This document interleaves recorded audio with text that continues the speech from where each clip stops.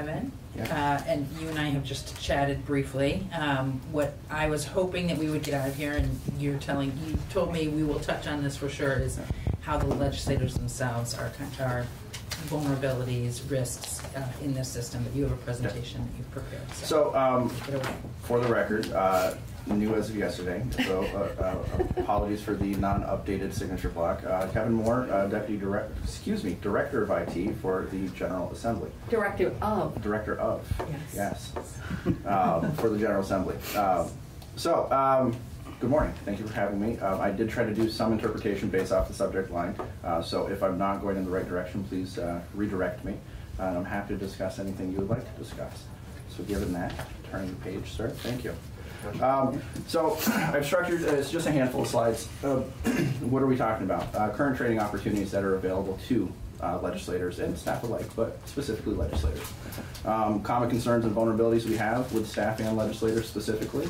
Um, It does focus primarily on cybersecurity, um, as that has been a sole focus, or not the sole, but a primary focus of this committee, uh, is cybersecurity. So I wanted to make sure we were there. And then training recommendations uh, in order to address those concerns and vulnerabilities. So, um, some of the current training opportunities we provide, in-house training. Uh, so it's developed in-house, it's either ad hoc in nature, or we actually put together uh, some presentation materials, class, class materials. Um, it's available to legislators in a variety of ways. Uh, it could be a specific one-on-one scenario. It could uh, be a committee as a whole that we train. That's a very frequent request we receive at the beginning of session to provide re- refresher uh, training uh, opportunities. It is typically uh, centered around the use of the iPad within the uh, committee process. Um, but we talk about many different technologies that are in use uh, during those conversations and how to use them better and uh, um, how to use them to improve the productivity of that committee.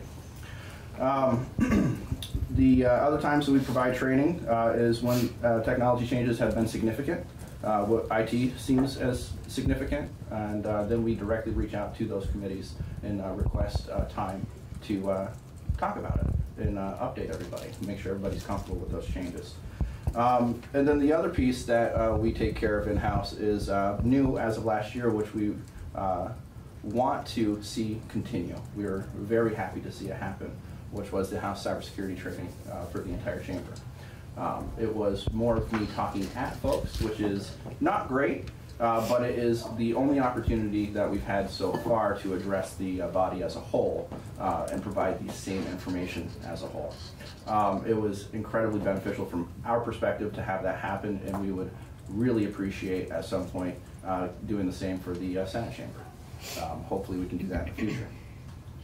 Questions before we move on?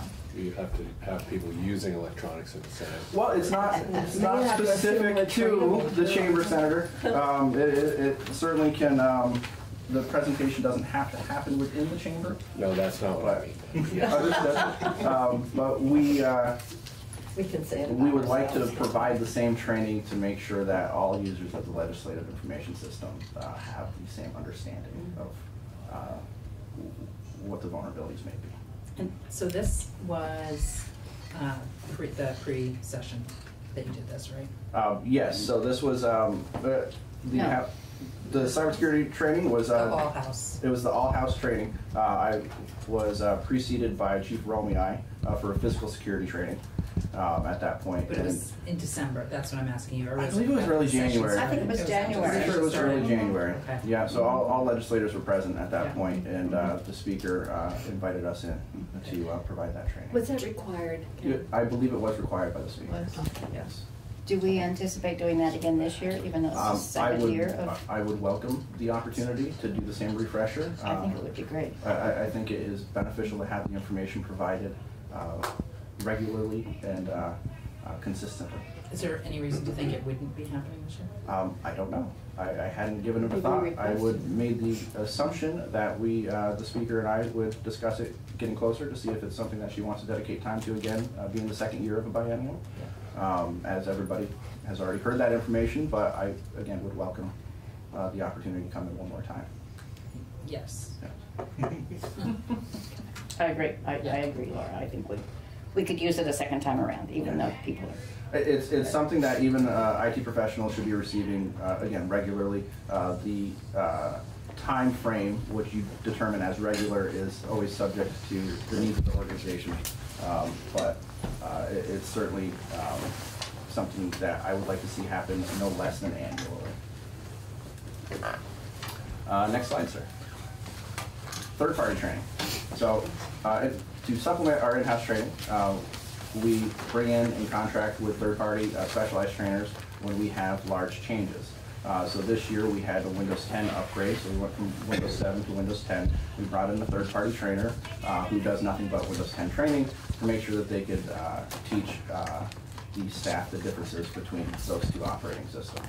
Um, It's what we call a bit of a force multiplier, have that trainer in. It allows us to continue to do our day-to-day job um, without having to dedicate an individual or more than an individual staff member to that training while making sure everybody still receives it. Um, It is typically around specific technologies or specific subjects, and it is typically made only upon request either of, again, a large change or if the, uh, uh, a legislative body or a large staff unit have requested a, a specific training. Question. Moving on. So, um, training recommendations. Touched on already.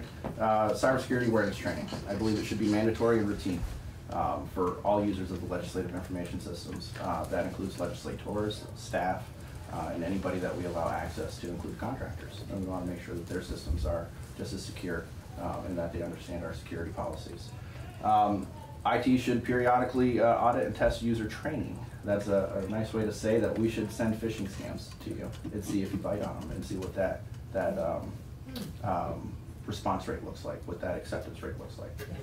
Maybe you said this, but are you already doing them in a routine way with staff? No.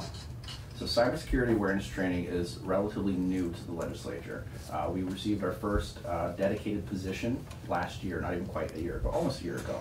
Uh, Ryan Torres sitting behind me, I, is our dedicated cybersecurity uh, uh, professional uh, that we have on staff. Uh, so we are still building up this system. We're trying to, uh, we uh, also um, hired a new user support specialist this year whose primary duty is training.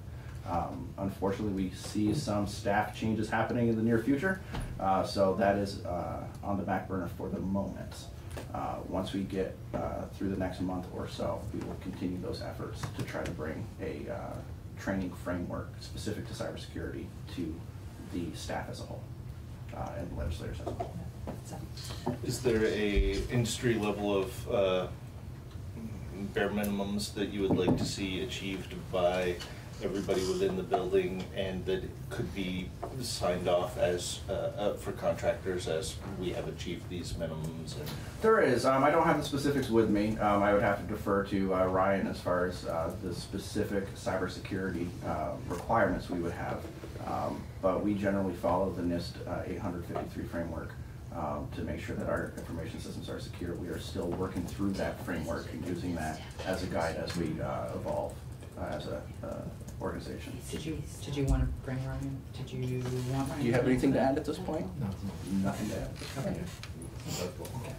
Um, so, uh, it's something that we should be doing, we haven't done yet, again, is, uh, we, we need a bit of buy-in to be able to poke, uh, at the, uh, the legislators specifically to send false, uh, and potentially scary emails, uh, to see if people, uh, bite on them. Um, it's a great, great way to provide insight into how well that training is actually working. What would that look like? What would it look like? Yeah. Um, so we would use a, uh commercial-based system to uh, craft an email that is uh, malicious in intent, uh, but safely malicious. Uh, it essentially says, "Oh, we got you." Uh, once you get through the end of the uh, clicking of those links, and it provides uh, some data back to us to analyze to make sure we understand what that click rate looks like. So what's scary, the I gotcha, the- or the text of uh, the original message? Uh, so it's the I gotcha. It's, Oh. it's understanding that you uh, uh, were susceptible to a phishing attempt. Uh, that, that, that can be uh, scary for some folks. Um, and we want to make sure that everybody's aware that it could happen, that we might send something out. Um, but we don't want to advertise it too widely, obviously. Fire drill. Fire At the end of it, can we suggest that here's the training options that you can? uh, Certainly, go I, through I, I to- don't see why we couldn't pursue it in that direction. For the individual who failed? Yes. I just wanted to be clear. It's like detention. Um, I, I, I think, I, I'm picturing myself trying to convince Senate colleagues that we need to do this, and, and I wanna come back to the staff idea.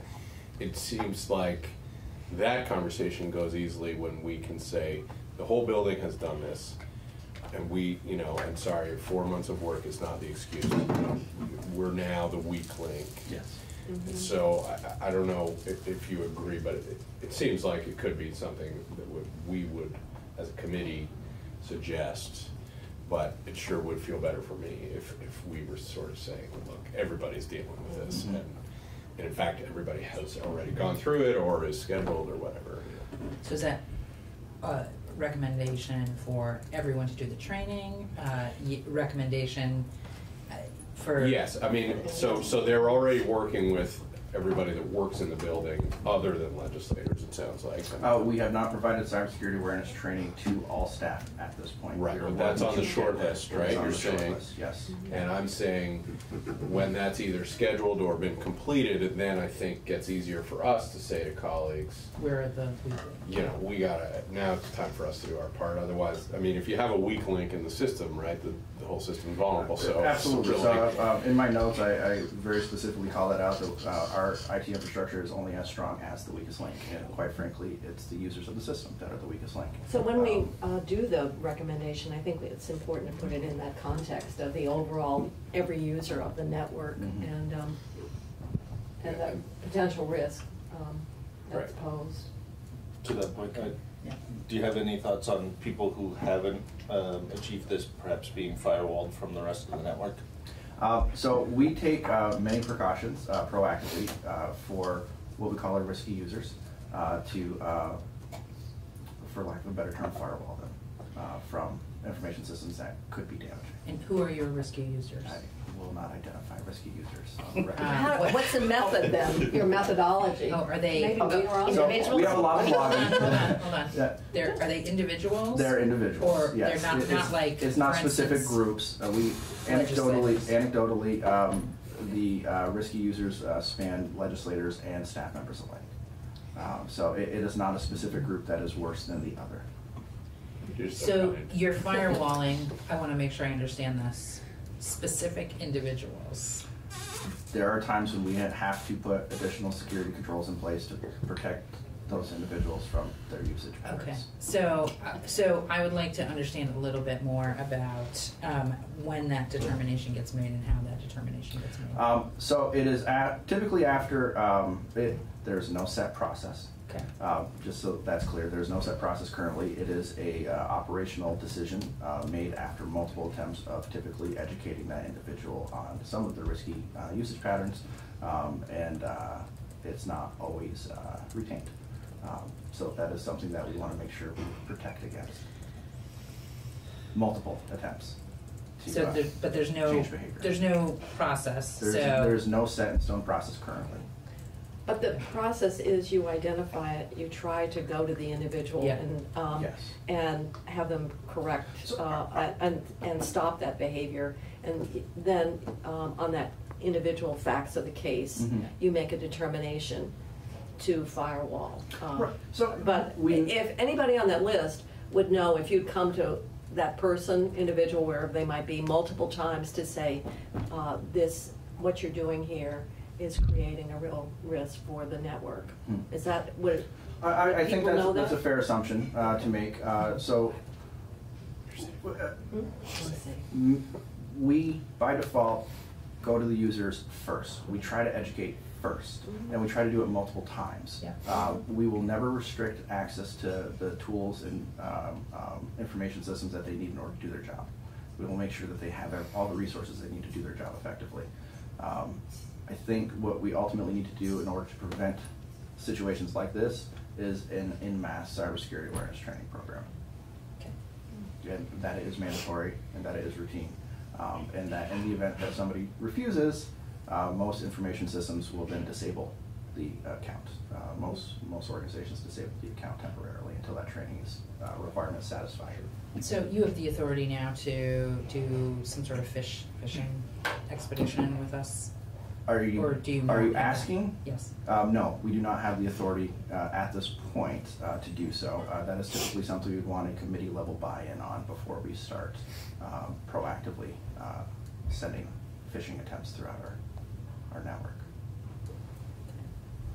So authority versus comfort level. So you don't have the authority? Don't have the authority. I- And you're uncomfortable? I am uncomfortable doing it without, Mhm. Uh, don't committee think- level buy-in. Okay. Well, that's And- prudent.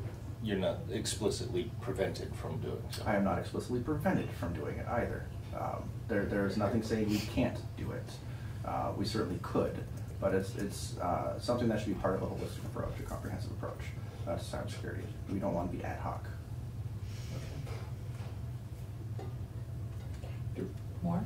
Well, I'm curious for you or, or for others, do these questions all fall to this committee or some of this the ledge council? I mean, I, I'm just curious, I mean, we can obviously make recommendations, nobody's passing a bill here, but I'm just curious where the jurisdiction is sort of shared. So- My interpretation of the jurisdiction as of yesterday Is would be the legislative. Legislative Management Committee or the Legislative IT Committee. Right, oh, good. IT or. I'm on legislative management. I'm on the legislative IT. Oh, we got it. Both of you are. Um, And also, we And are, our chairs have gone by. yes, yes, uh, drafting. But you guys are gonna take our committee away, I hope. I've Yeah. heard. We- We've talked about, right, when you create another structure and Yeah. um, make that kind of change, we, as Kevin said yesterday, that Yeah. everybody was in agreement IT needed to be Yeah. a separate entity, and we moved on that yesterday. So um, we're looking at uh, other committees that have been created over time um, in light of this new- newly created. So we just don't want to layer on something else on top of everything that's there, so. uh, we Well, are I'm only taking- one member, but I think it would make sense to be folded into. Thank you, Larger. that's consistent with what we've been thinking. Uh, So we are working on a recommendation letter as well, which Be- we'll talk with Becky about later today. Okay. So that would go to varying parties, so. So before we move on to the next slide, the biggest thing that we want to see as a training outcome is the improvement of your um, base level knowledge across the, the user base is what we call it. That way, every, every user of the uh, uh, legislative system understands the base level of expectation when it comes to cybersecurity and what we call cyber hygiene. Just good practices on uh, how to be alert, pay attention, and report uh, what you see in an effective manner. Next slide, sir. Common concerns and vulnerabilities. Um, so this is, uh, generic, uh, to some extent, but this, these are issues we see across, uh, the board, uh, to include legislators and staff members. Social engineering, um, that is, uh, the art of having a conversation with somebody and extracting information that they otherwise wouldn't have given you. Um, we have had that happen here multiple times where we have outside, uh, entities calling up, uh, uh, perhaps the speaker's office and say, hey, I'm from Canon, and by the way, we need a, uh, a new supply of toner shipped, can you give us X, Y, and Z information? Um, All of that information should never go to the speaker's office, it's filtered to the IT department, so they immediately should be alerted, tr- triggered at that point, knowing that that is potentially a, a uh, social engineering or phishing call, voice phishing, uh, for that information. So, that, that's a- an area of concern. Phishing, email phishing, everybody is more or less aware of it at this point, um, what the concept means. That is a huge concern of ours. Um, The organization uh, receives many phishing attempts. Uh, Some are, uh, I don't want to say necessarily successful at all times, but some get further than others do. Uh, There might be a first round of response, and then they go, oh, wait a second, this isn't accurate. This, this is not something that I should be responding to. Um, And we receive a lot of reports for phishing emails from our users, which is encouraging. Uh, general malware, uh, so general malware across information systems is obviously a big concern. Uh, you can get that from a variety of means, to include attachments via email or downloading something you shouldn't be downloading, which is why we secure the information systems the way we do, is to try to avoid, uh, those uh, pitfalls and to reduce the, uh, opportunity for, uh, threats to be introduced into the environment. Web, Could I, could I ask a question along these lines? I've never fully understood this, but Is there a time when just having received the email is dangerous, or is it always like then clicking the attachment or clicking the link? And this is where I will bring Ryan to the table to get into the very specifics of it. So come on up, sir. comes up automatically. Yeah, You know, and you're you're like, oh, to- I already, all I did was open the message, whatever. I didn't even open, it just comes up, you know, Yeah. next email. Morning, I am Ryan Torres. I am the uh, Network Security Administrator um, for the Legislative uh, IT Office. Uh, We, we don't have a name yet. Uh, To, to address the uh, specific question, um, the act of receiving email in, and of- in and of itself is not a hazard. Um, Depending on the configuration of the email client, there could be um, tracking pixels that are downloaded. Um, Most modern uh, email browsers are set to disable that by default. That's why you've uh, um, probably seen that download pictures button. Um, So if that button is not pressed, the attacker has no idea that the email has been received, um, only that it was not rejected. And like on my phone, it'll preview a message, right? Is that sometimes bad practice in terms of triggering that stuff? Um, typically, no, um, so long as it does not download external content without user intervention. Well, that's, I've wondered that myself, thank you for asking that. I'm not afraid to look foolish. Thank you. Well, I It's do, obvious. I do routinely. Yes. Um, Okay, that, that's interesting, so, um, the greatest risk then would be, um, in this, it, it's downloading files that you're not sure of the sender. Is that, is that where, is that, if you were to look at where we might be at greatest risk, would it be, um, clicking on that, um, what? I'm sorry. uh, clicking on that and downloading whatever it is that's attached. Um, while that is a great risk. That's um, not the greatest The then. greatest single risk, risk is the phishing attack that is seeking to extract your username and password. Okay, all right. And that's usually a link that you click on or what? Um, it's a link, occasionally it's a piece of malware, but most often it is a link to a falsified web page.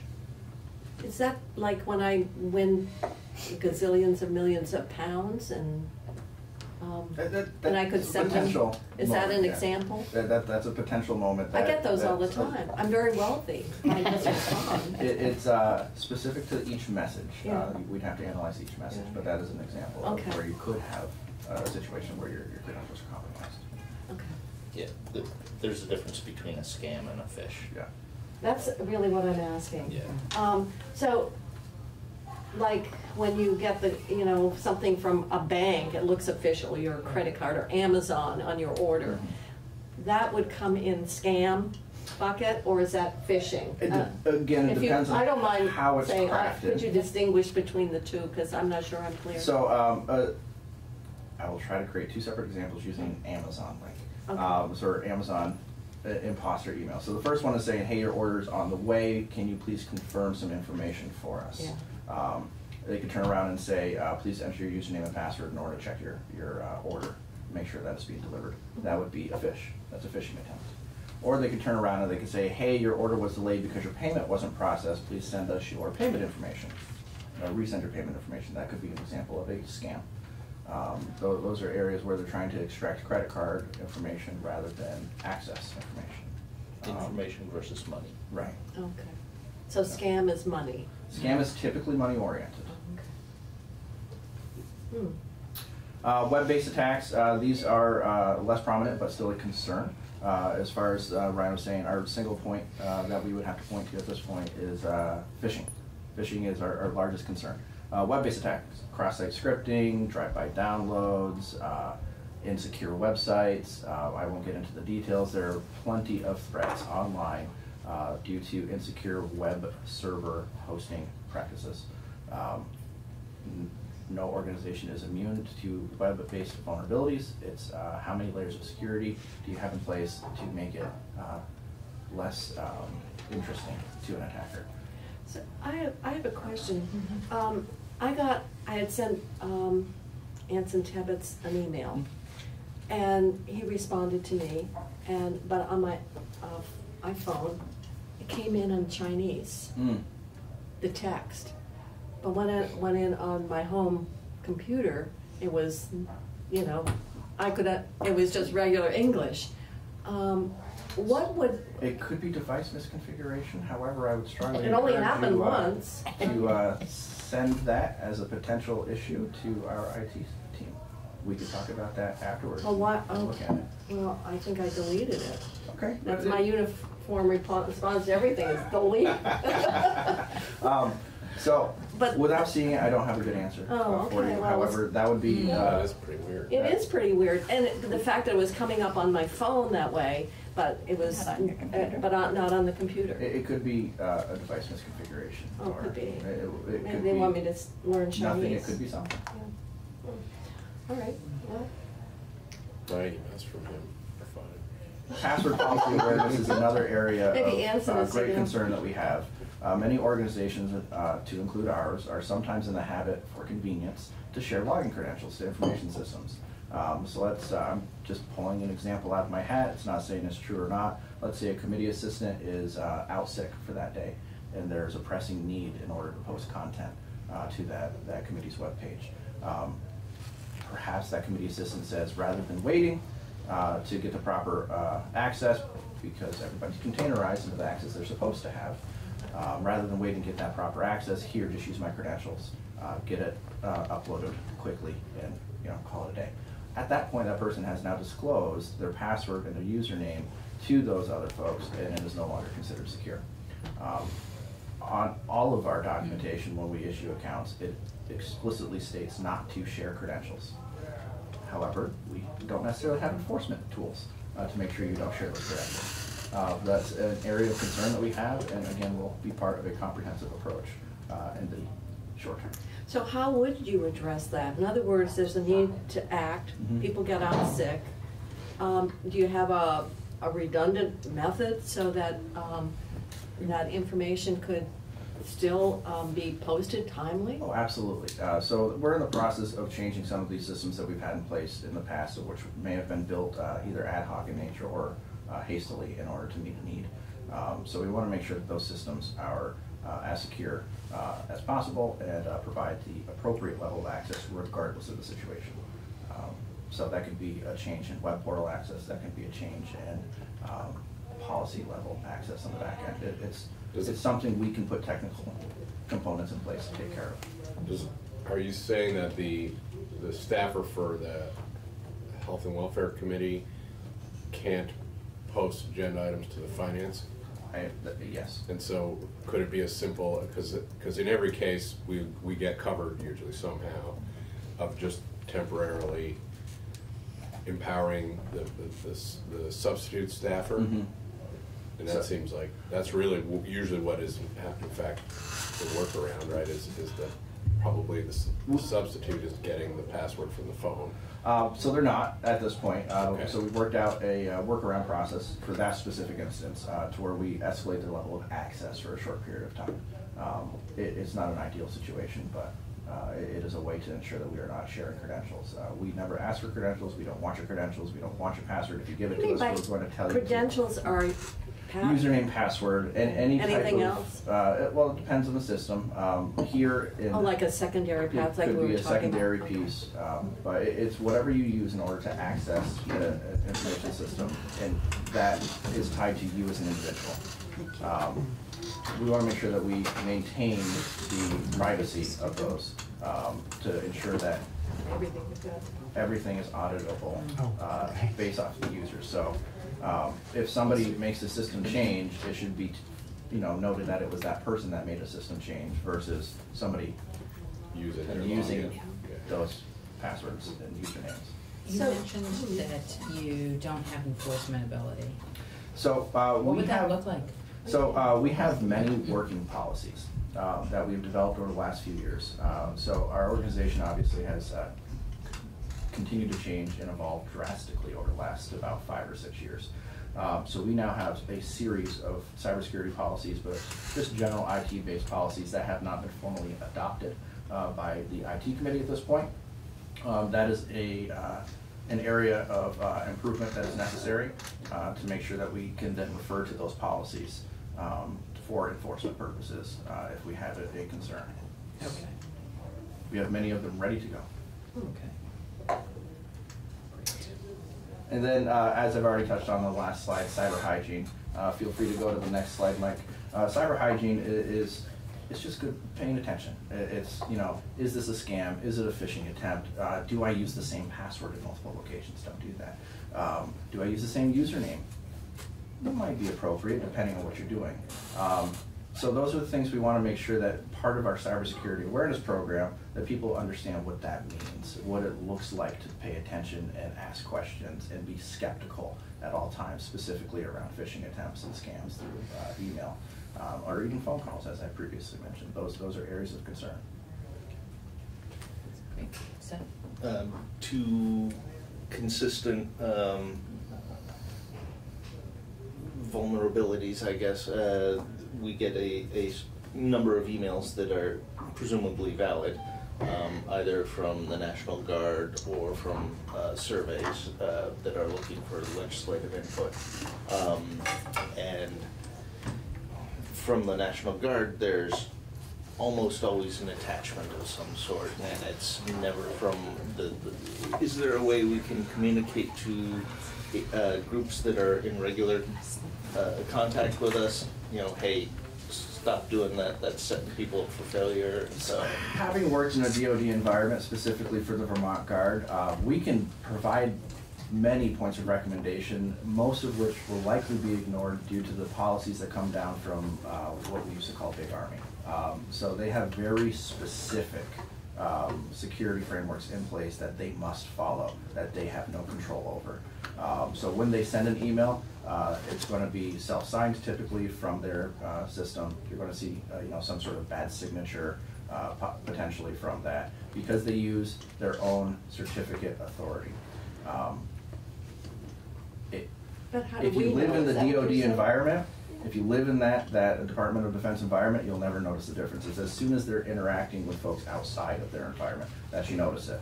Um, I am more than happy to engage them to see if there's something that we can do to make it a little more user-friendly when it comes down to reading it and accessing it. But their policy uh, by default is to flag all external emails, uh, to disable all links, uh, to make sure that it is as difficult as possible to introduce any kind of uh, malicious uh, But how would we know when we're being invited to the F thirty-five, is it, event? The- the- So- Uh, that, uh, that, We I are- think that's, is that what you, uh, as, Okay. a- as a benefit? You're Because- talking about on the DOD side, but I'm talking about if I got something, how do I know it's really from the big army? Um, so that's part of the, the, um, the training program, wha- how to identify the actual sender address, to make sure that it is legit. Um, the other piece that we are, uh, in the process of rolling out, um, through, uh, we've worked through one staff office, we're trying to get it through other staff offices as well, is a flagging of specific external emails. And, uh, so it flags it, it, in the subject line, it says this is external. At the top of your email, it says this is external. And then at the bottom, it gives you some very basic directions on what to pay attention to. Um, attachments, links, things of that nature. Uh, so we're in the process of rolling that out, and it will eventually be rolled out to legislators as well. Um, you should always be skeptical, is what it comes down to. Always be skeptical. Uh, make sure that it is indeed from the sender that you uh, uh, believe it's from. If you were not expecting it, uh, don't open attachments. If you are concerned that that's an attachment that you might want to review, feel free to contact that sender either directly through a, a known email address or uh, uh, through phone and say, hey, did you send this to me? Um, that, that's always a, an okay response. What I was getting at is a lot of those raise the same red flags that a fake email would. So if people get in the habit of, oh, okay, this looks like it's from the DOD, I'll just click on it. Mhm. Um, that sets them up for failure because they're in the ha- in a bad habit because of the, the format Oh, from the yeah. DOD. Yeah, and, and that's something that's pretty tough to try to handle as a receiver of email. Yeah. Um, but uh, again, I, if that's something that the committee thinks is worthy of pursuing, uh, I'm more than happy to, to reach out and see if there's a way we can communicate a little bit better and try to clean that up. And, and we are all obviously getting, legislators are getting you know, tons of emails from people we don't know. Yes. Which is a bit unusual compared to. a So, lot of and it's a high-profile organization, so uh, because of the profile of the organization and the individual legislators, uh, it requires uh, a higher level of vigilance. I think that there's one thing that we all need to be very cautious about. whether we're doing it electronically or whe- whether we're just using pen and paper, and that is what you say, what you put in writing, and how you say it. Because Ollie North learned that nothing ever is deleted. And um, sometimes, you know, I was aware of um, some internal exchange. This was involving a, a, a state office. And um, it, under freedom of information, those kinds of documents can't, have to be released. And um, I think there's also a certain sensitivity toward what you say and, um, and the nature uh, of the communication, because um, it can, it, it can come back in a way that um, you may not have anticipated. And so if you don't want anybody to see it, or what you're saying, you don't want to have other people to see, Don't say it. you don't you better, you better have a, you know, go to the bathroom and have a conversation in there or something, but, um, it, it's just something that, um, we, we need to be aware, because I do think you, you could probably, you would have the ability to access anything that's historically on the network. Um, so, uh, we frequently. Does delete really mean delete? It depends on the situation. Uh, So if we are underneath a litigation hold for any reason, uh, we do have to retain uh, certain uh, content uh, based off of that litigation hold. Um, We frequently uh, only with express written consent of each uh, legislator, uh, uh, assist during Freedom of Information Act requests, Public Record Act requests. Um, We do not look at the content, we do not see the content. Uh, We uh, provide it to the attorney who then works with the individual legislator to uh, uh, address what that. Because uh, we've all request had those like. requests. um, Mhm. um, But you have to sign before they'll help you, really, or? You have to provide written, written consent, yes. I just went through my files of sent or. Well, you did, right, but if you want staff to Oh. be peeking, quote Oh. unquote, you have to sign off, so they're Yeah, not we have doing it some pretty without. powerful tools that uh, speed the, uh, the process up for legislators. Um, But because of the, the nature of those tools and what they can access, we want to make sure that we have that express written consent. Okay. Other questions for Kevin? So could you refresh us what whaling is? I know it's So, big fish. It's big No, it's actually not a fish. Yeah, A whale is not a fish, fish. yeah. Um, But, um, But- differenti- you differentiated between scam and phishing. Now, tell So us the difference between whaling phishing and whale, yeah. So phishing is uh, generally targeted toward the masses. Whaling is targeted towards a specific Subgroup. person of uh, typically power in an organization of high, higher higher. Individuals, high or it could be a group. Uh, correct. It could be a group. It could be uh, generic in nature across the whole company for regular phishing attacks. Whaling is typically targeted in going after big fish. Um, so whoever has that higher or is perceived to have that higher level of it'd be that, access. For what? Huh? Would they, would you be the target of I am, whaling I, because you I have? am a target, yes. Yeah, yeah. Absolutely, I am a target. So, any, any IT organization is a target. Mm.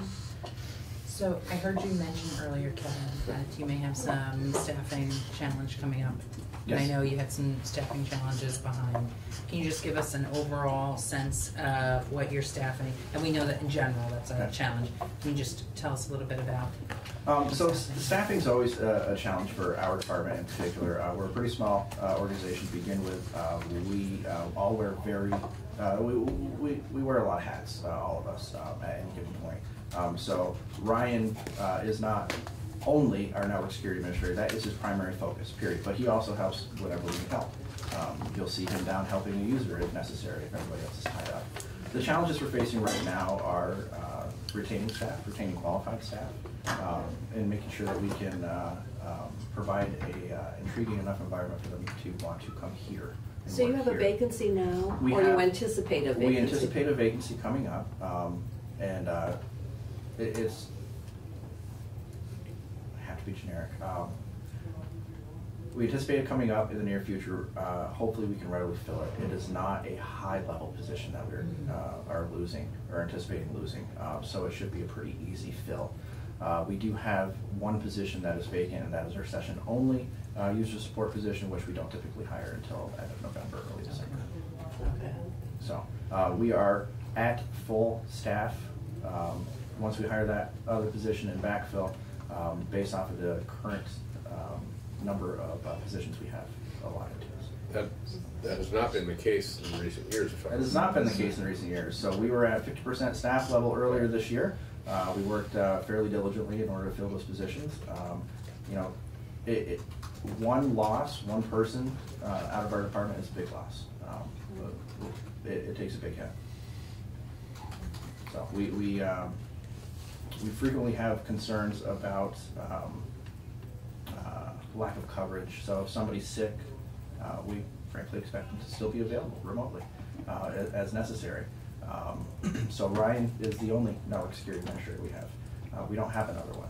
Uh, Sean Allen is our only systems administrator. We don't have another one. I backfill and try to assist as best I can, um, but in the event that we lose one of those positions, that is a a strategic uh, key loss uh, of our department. We Simply have to the rapidly numbers, fill. there's no doubt. There's just no doubt. So, okay. So if we have something happening with the system at two AM, That's how do us. you, how do you know? Uh, so we have plenty of monitoring systems. We get two AM wake-up calls from our own monitoring systems and say, fix this now. Um, in the event that the monitoring system fails, well, we'll find out in the morning. Uh, but that doesn't, uh, happen, uh, frequently, if at all.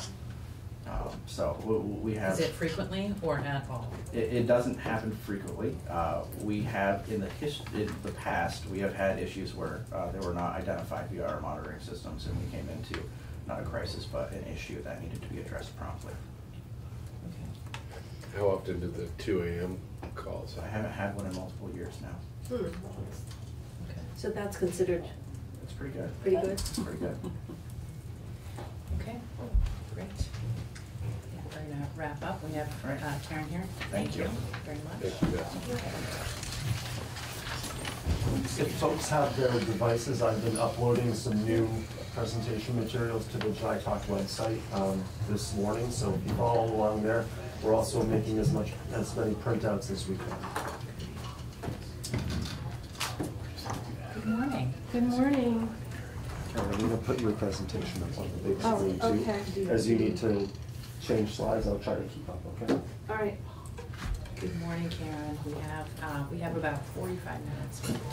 Thank you very much for coming in and talking with us. Well, thank you for, for having um, me come in and talk to you. It's um, clearly a huge issue for local governments. Um, Everybody, uh, businesses, government, and individuals need to be constantly vigilant to protect our digital information. And right now, uh, governments are, uh, governments are targets for cybercrime. Um, we hold significant amounts of sensitive information at the local level, and cyber criminals want them, and many of our municipalities are clearly ill-prepared to fend off attacks. Um, some of the issues that we have are equipment can be old, um, equipment can be very old. Um, staff across a municipality, actually, I'm, I'm sure that Kevin may have talked about it earlier, um, can click on a phishing message that compromises the entire system. Passwords may be infrequently changed or inadequate. Towns may not have their own domain, but rather just a laptop and a password that they're working off of. And the, the, that's just kind of a smattering of the sorts of issues that we have. We also understand that the weakest link is the human being. Um, criminals gain entry to systems when you click on the wrong link, when you answer the wrong phone call, when you um, respond to the wrong email. Um, when anybody's not completely suspicious about pretty much everything that comes into to the system. While there have been breaches due to human error at the local level in Vermont, um, we're not actually aware of any ransomware attack in Vermont yet. Um, the, the most recent example of a breach of security due to human error is the Norwich situation. Um, and- are you familiar with that? In Vaguely. Norwich, in, in Norwich, back in August. Oh, yes, you, um, yes, I, Norwich, I'm thinking Norwich University No, as no, no, opposed to the town town of Norwich. Norwich. Yeah, I'm, yeah, I. They, I'm they received, uh, the, the finance director received several emails that looked like they were from the town manager. And as a result, she made four transactions to an unknown bank, which amounted to about two hundred fifty thousand dollars before the, um, system was shut down. And, uh, so the town is, um, likely to recover from one of the banks about eighty thousand dollars. The LCT, because we insure liability for um, municipalities, is, and because of the particular nature of that situation, is going to make up the difference, which amounts to about hundred and seventy thousand dollars. Could I ask a question, Karen? Um, since the league carries the insurance that you just Yes. referenced, usually insurance has certain requirements. Mhm. You know, like if you put in a stove, you have to have certain. Right, Um, yes. so are there requirements for that, uh, liability coverage relative to training and, um, what, what actions you have to take, um, in order to sort of minimize that risk or loss?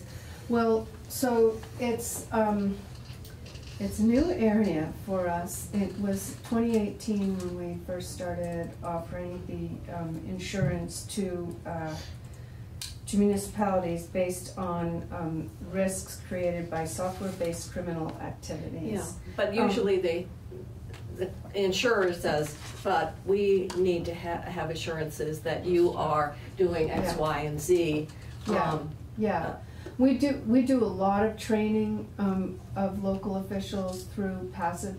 I don't know that there are, um, I actually don't know if we have requirements around, um, multi-factor authentication, um, you know, upgrading your equipment, like ongoing training. It's something that we're starting to work on. This, this, um, coverage was just offered beginning, I think I just said that, in twenty eighteen. mhm. Um, and, uh, what, and, um, let me just tell you, we, we insure three hundred and forty-eight municipalities, um, ranging from fire districts to public safety authorities. We insure seven cities of the nine and two hundred and thirty towns and twenty-two villages for liability. So, um, clearly, it's a huge issue for us. It's getting, um, you know, to be more and more of an issue. Um, our coverage limits, I mean, we wouldn't be able to cover every situation that happened, you know, there are limits to, to coverage. Um, municipalities can buy up, they can buy additional coverage, but it's quite expensive to do that because we have to, I'm not an insurance person, but you have to work with the, um, reinsurance market as well. So there's a lot of issues around that. Um, Karen, yeah, so you talked about you don't have a requirement yet for any kind of training. Um, would that be, can you just help me understand what you would put that in place for accessing or participating in the insurance? Well, Is that- what we would, what we do is we assess a town's risk and a town's losses, and that's what the cost of their insurance is based on. Okay. So if you have multiple losses due to, um, you know, cyber criminal activity or, um, inattention of staff, that is going to affect your, the, what you get charged in the following The year. individual town, not every subscriber, then it's individual not town. spread over. The So- individual town. So this is not a commercial product then, this is just the? This is a risk pool for, of municipalities, Yeah. municipal governments. Mm. We are getting a lot of competition from commercial, you know, w- init- not to get sidetracked, but initially when we started the PACIF program, it was because, um, private vendors were not, um, interested in underwriting municipalities. Um, so over time, there are, um, there are periods of time when the private vendors are interested, and this is one of those times. So, um, but we have a risk pool. Ours is a risk pool. What has the loss history been so far in Vermont, do you know? Around this particular issue. Um, we haven't had a lot of losses. Um, there was a situation in, um, Essex where they, uh, there, there were two situations that I was told about yesterday, one in Middlebury and one in, Essex. Essex was able to stop, halt the um, breach, and they really didn't suffer any damages. And in Middlebury, there was a falsified payroll um, check issued. I'm not sure exactly how, but it worked, it amounted to about twenty-five hundred dollars. So, um, we haven't seen a lot yet, but we, we have no illusions that we are going to see more. And with regard to, I, I believe you said you're not aware of any ransom, Right, so I am, of a larger, of a municipality, yeah, um, several years ago. okay. And so I wonder, I just wonder why, under, and they're active So was VLCT that people, Guild, so. Guildhall or, Brett. oh, No, Guildhall is, there's nothing to, to ransom there. It's Essex County. Guilford, Oh, Guilford, That that's what sounds you're bad. thinking. Brattleboro.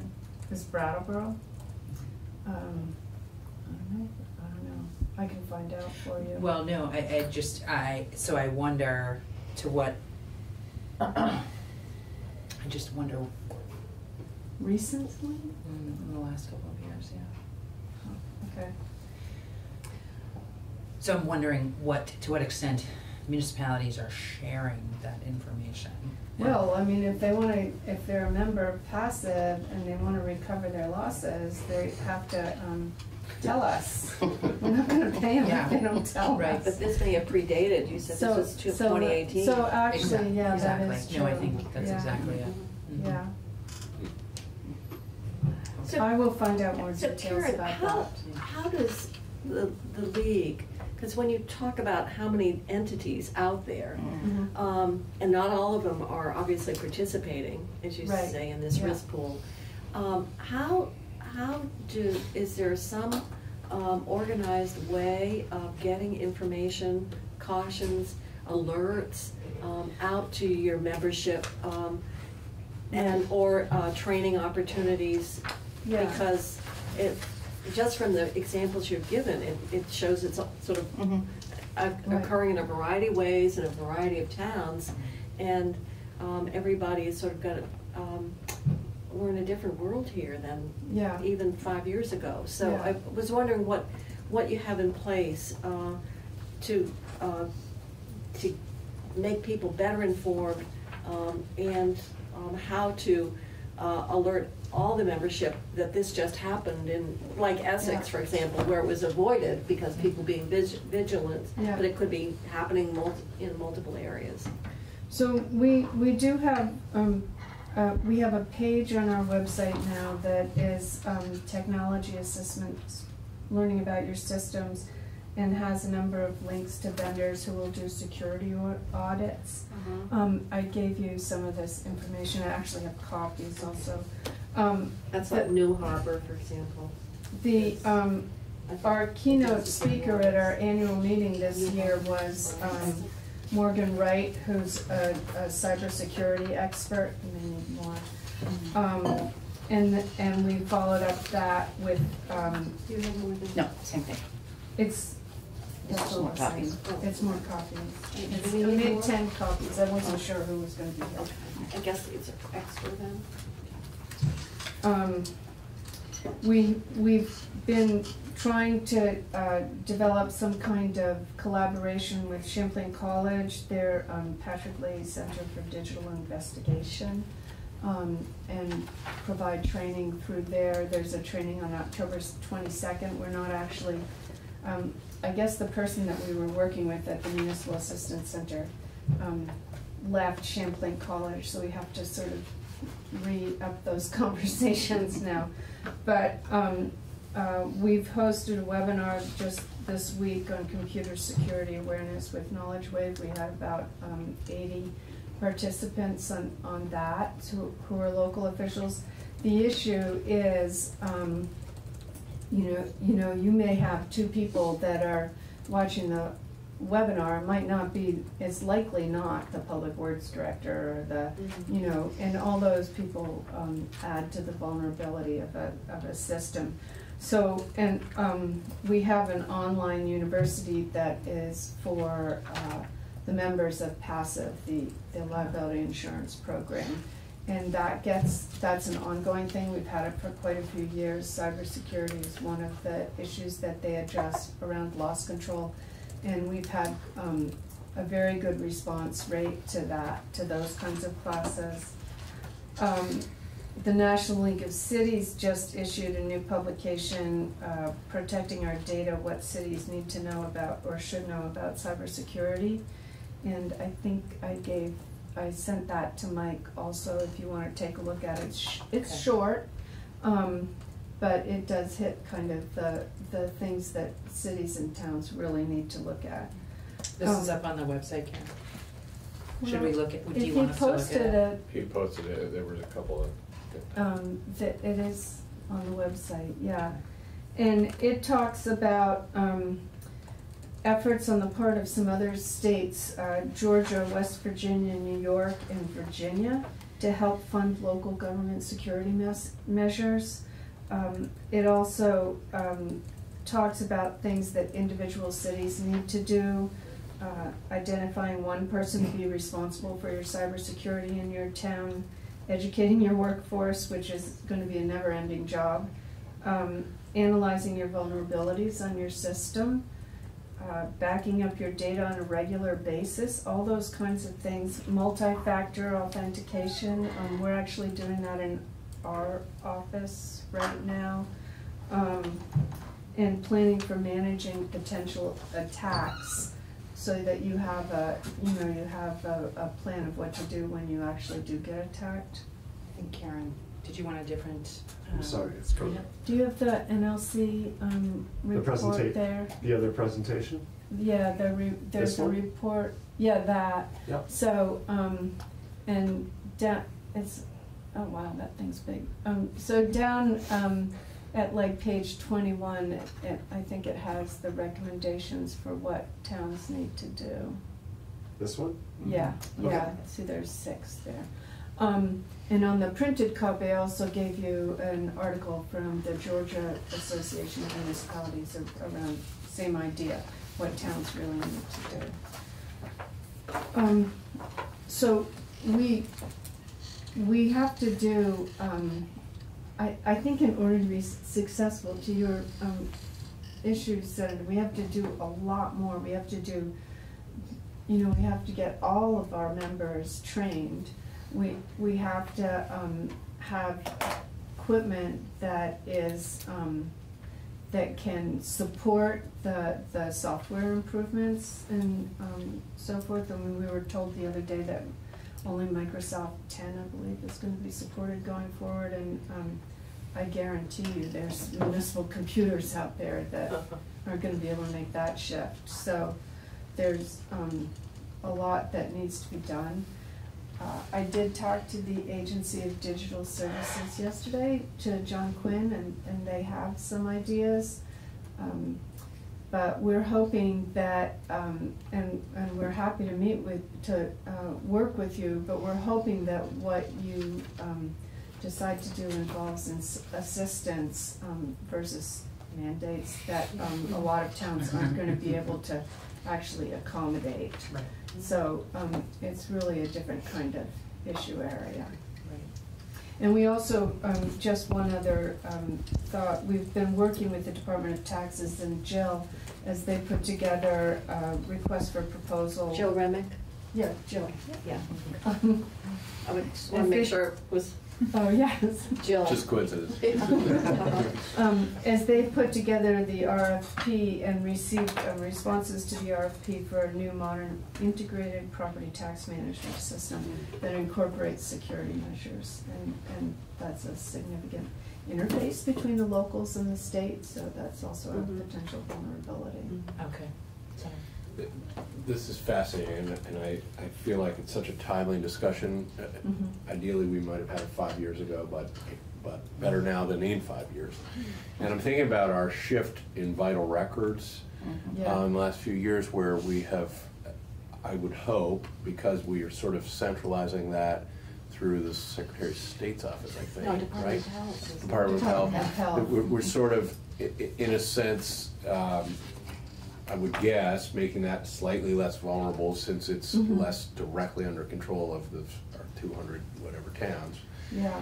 And I, and I'm wondering, um, it, it it is, from a budget point of view, not gonna be realistic to, to expect all towns to jump into best practice Right. technologically. And, and I wonder if the league and, in your discussions have thought about places where we could create one system that towns then hinge Mm-hmm. off of and, and that therefore, you know, the best practice and all the security. Like a security. single network? Yeah, I mean, I, I, I don't know, I mean, there, there would be some pushback, Yeah. people wanna have their own, uh, flexibility, but on the other hand, we, we're, we're, I, I'm just trying to think of how you get around it, and it doesn't make a lot of sense when so much of this can be cloud-based, to have it be, you know, mm-hmm. in, in municipal buildings located ten miles apart from each other all throughout the, the state. I,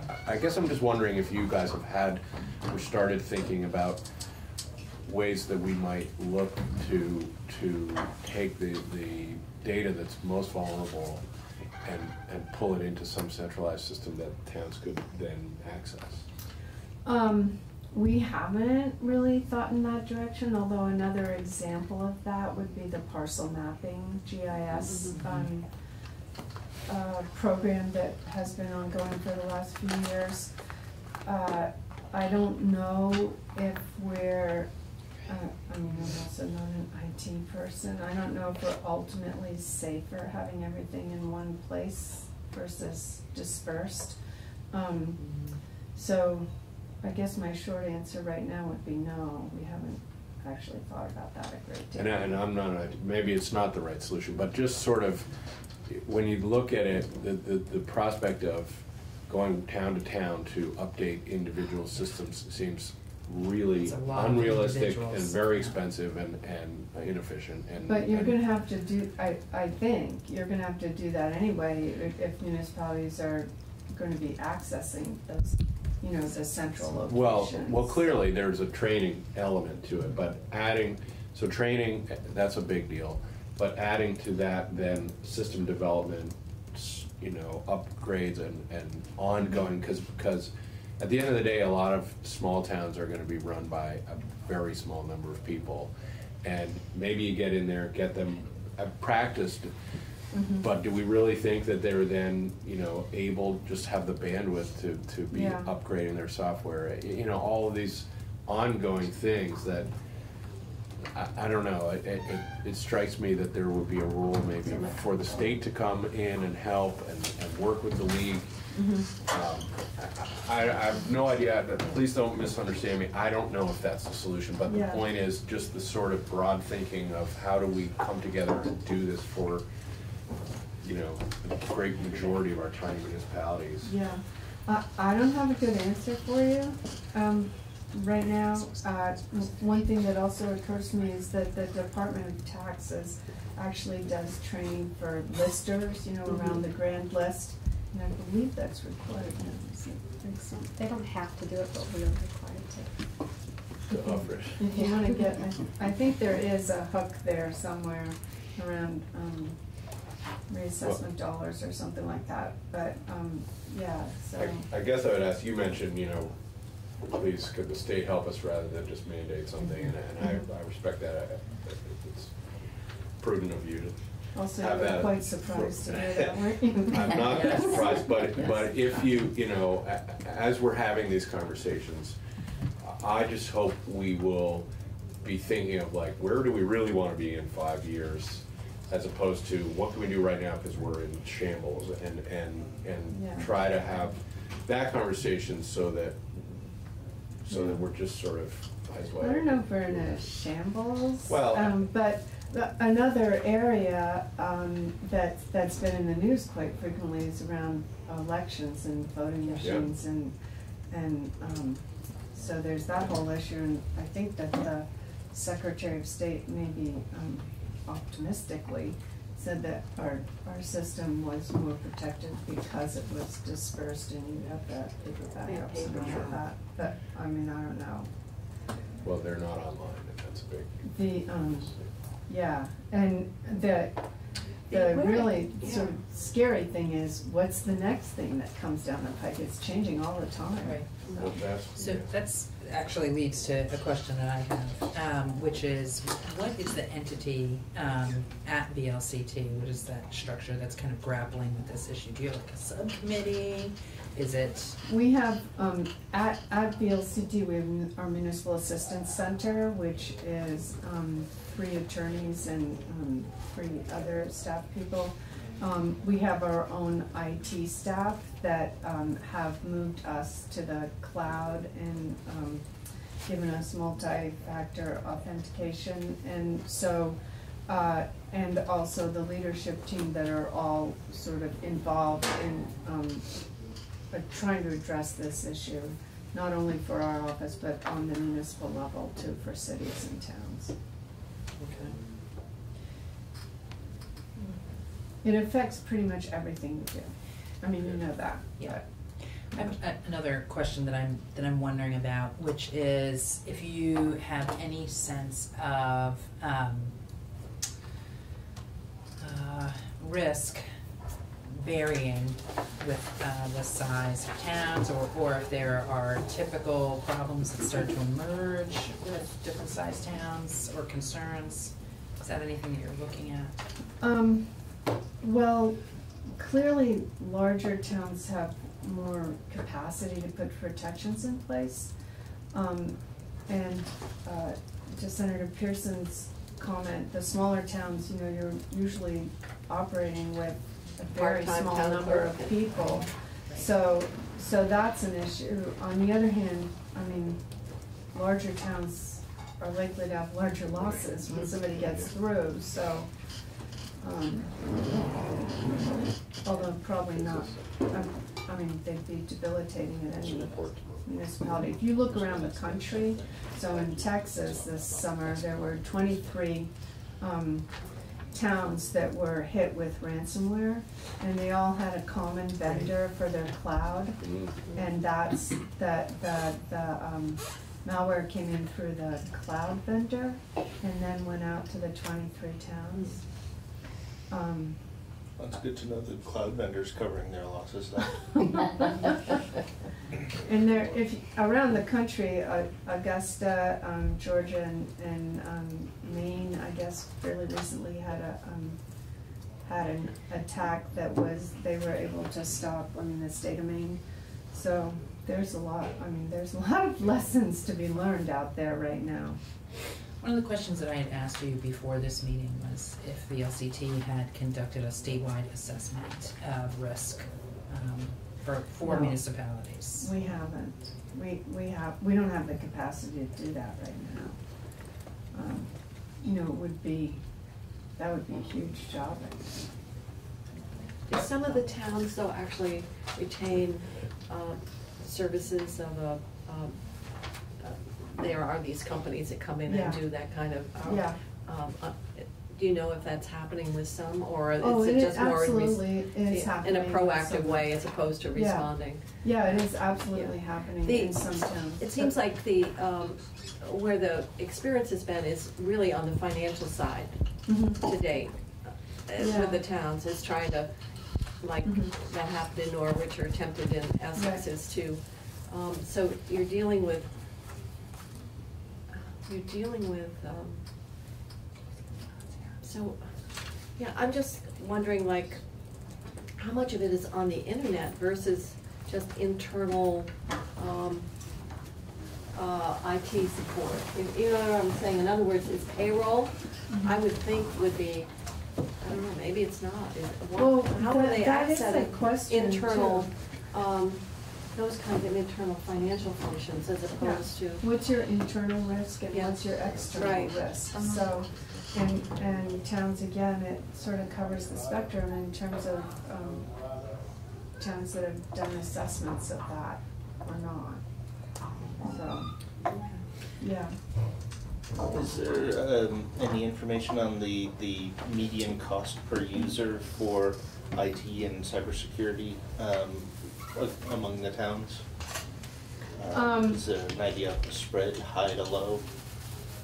I, I'm, I'm sure there is. I'm not sure I could get it for you, but I can try, Okay, thank you. yeah.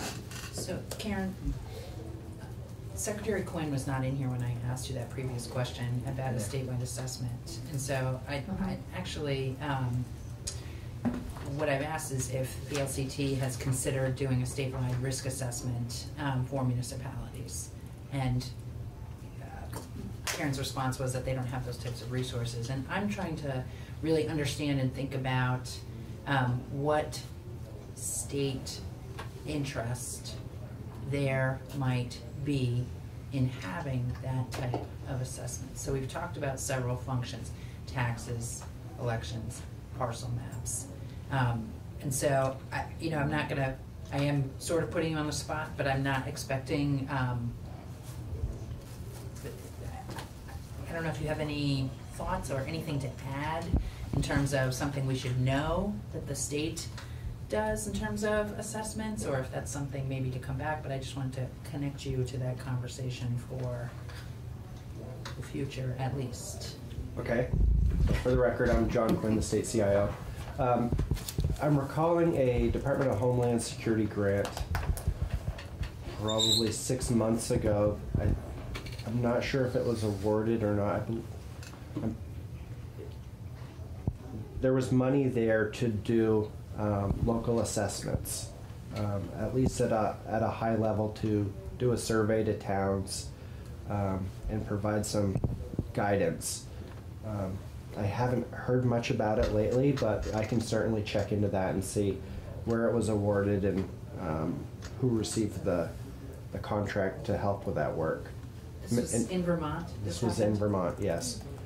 The Department of Homeland Security grants all run through public safety, Okay, um, and I just wasn't uh, part of the conversation the last couple of months. okay, so what I, just to follow up, what I think you're saying is there was a grant that came in that you believe had some um, assessment of municipalities. Yes. But you don't have really a further understanding than that, and you're gonna come back to us and I tell will. us- Okay. How can they do that without the municipalities knowing in the lead now? Or maybe it just know hasn't started. Everything. I- I- You don't know everything? I don't know Oh, oh really? Oh, Oh, okay. Well, if somebody took advantage of it, that's wonderful, and it would be nice to know what other resources there might be in that area that we could, through Karen's organization, encourage other towns to take advantage of. Or sometimes you get a grant and it takes a little while to start up. too. Right, right, sure, So but at least to find out the experience of it. Yeah, so maybe it's just. Can you do it again? um, In that work. And maybe no one bid on the work, I'm not, I'm not quite sure. We thought about being able to do it, see, seeing if we could do it internally, but because of the way the funds were, we couldn't, we're a billback organization, ADS is, so it was hard for us because it would have had to have been free. We couldn't have used the grant to pay for our people to do it. It was a little complex and that's why I'm aware of it, but um, I can, I can find out if it was awarded and if so to who and see what the next steps are. Yeah, I would like to flag this conversation, to revisit this conversation in November, both if you're available, Karen, and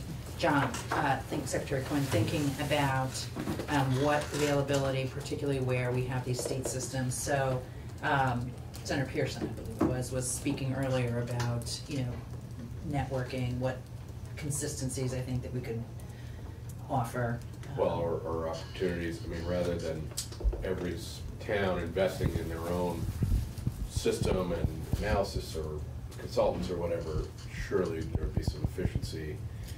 And in many cases, towns might be happy to have that kind of system. I mean, I, I just, I just don't know, but uh, it, but thinking about this process repeating two hundred and seventy times or whatever it is, The issue seems- crazy to me. I'm thinking in terms of the functions though, of, of the system, for example, even in the state, um, the fiscal and the disbursement, um, and Mhm. payroll is done through vision, it's done through, you know, so. Centralized.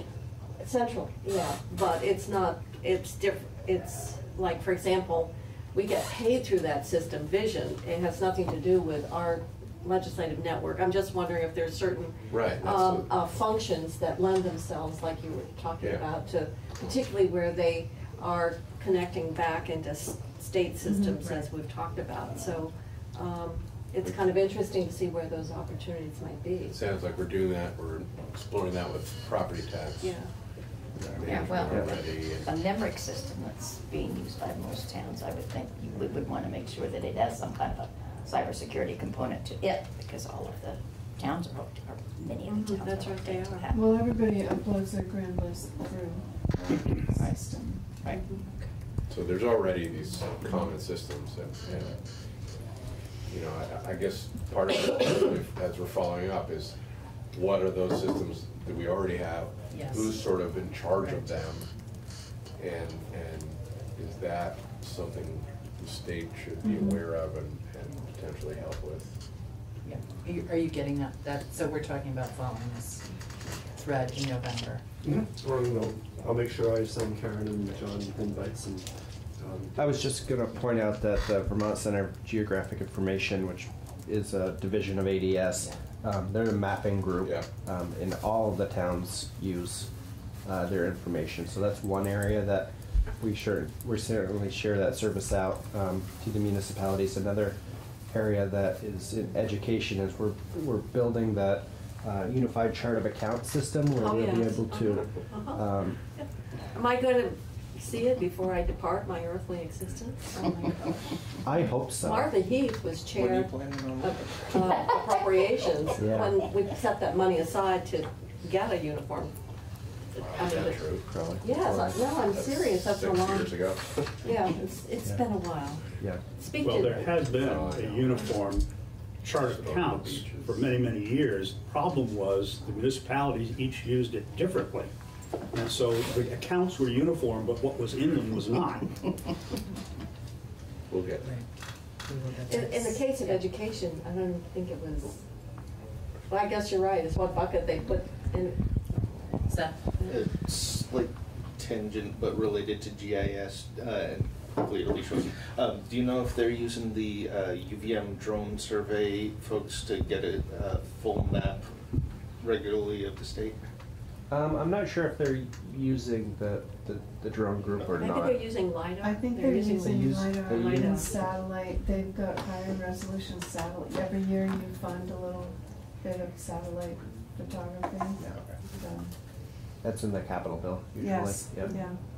Thank you. Karen, is there anything else that, is there any, uh, one of the other questions that I had asked you, um, well, I had asked you about training, um, you know, if there was an opportunity, and also what the legislature and the administration could do to Right. be helpful. You've, you've said, you know, Mhm. not mandate, which.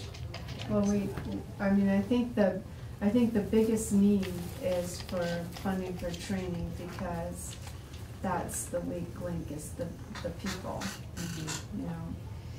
And you need to train on an ongoing basis.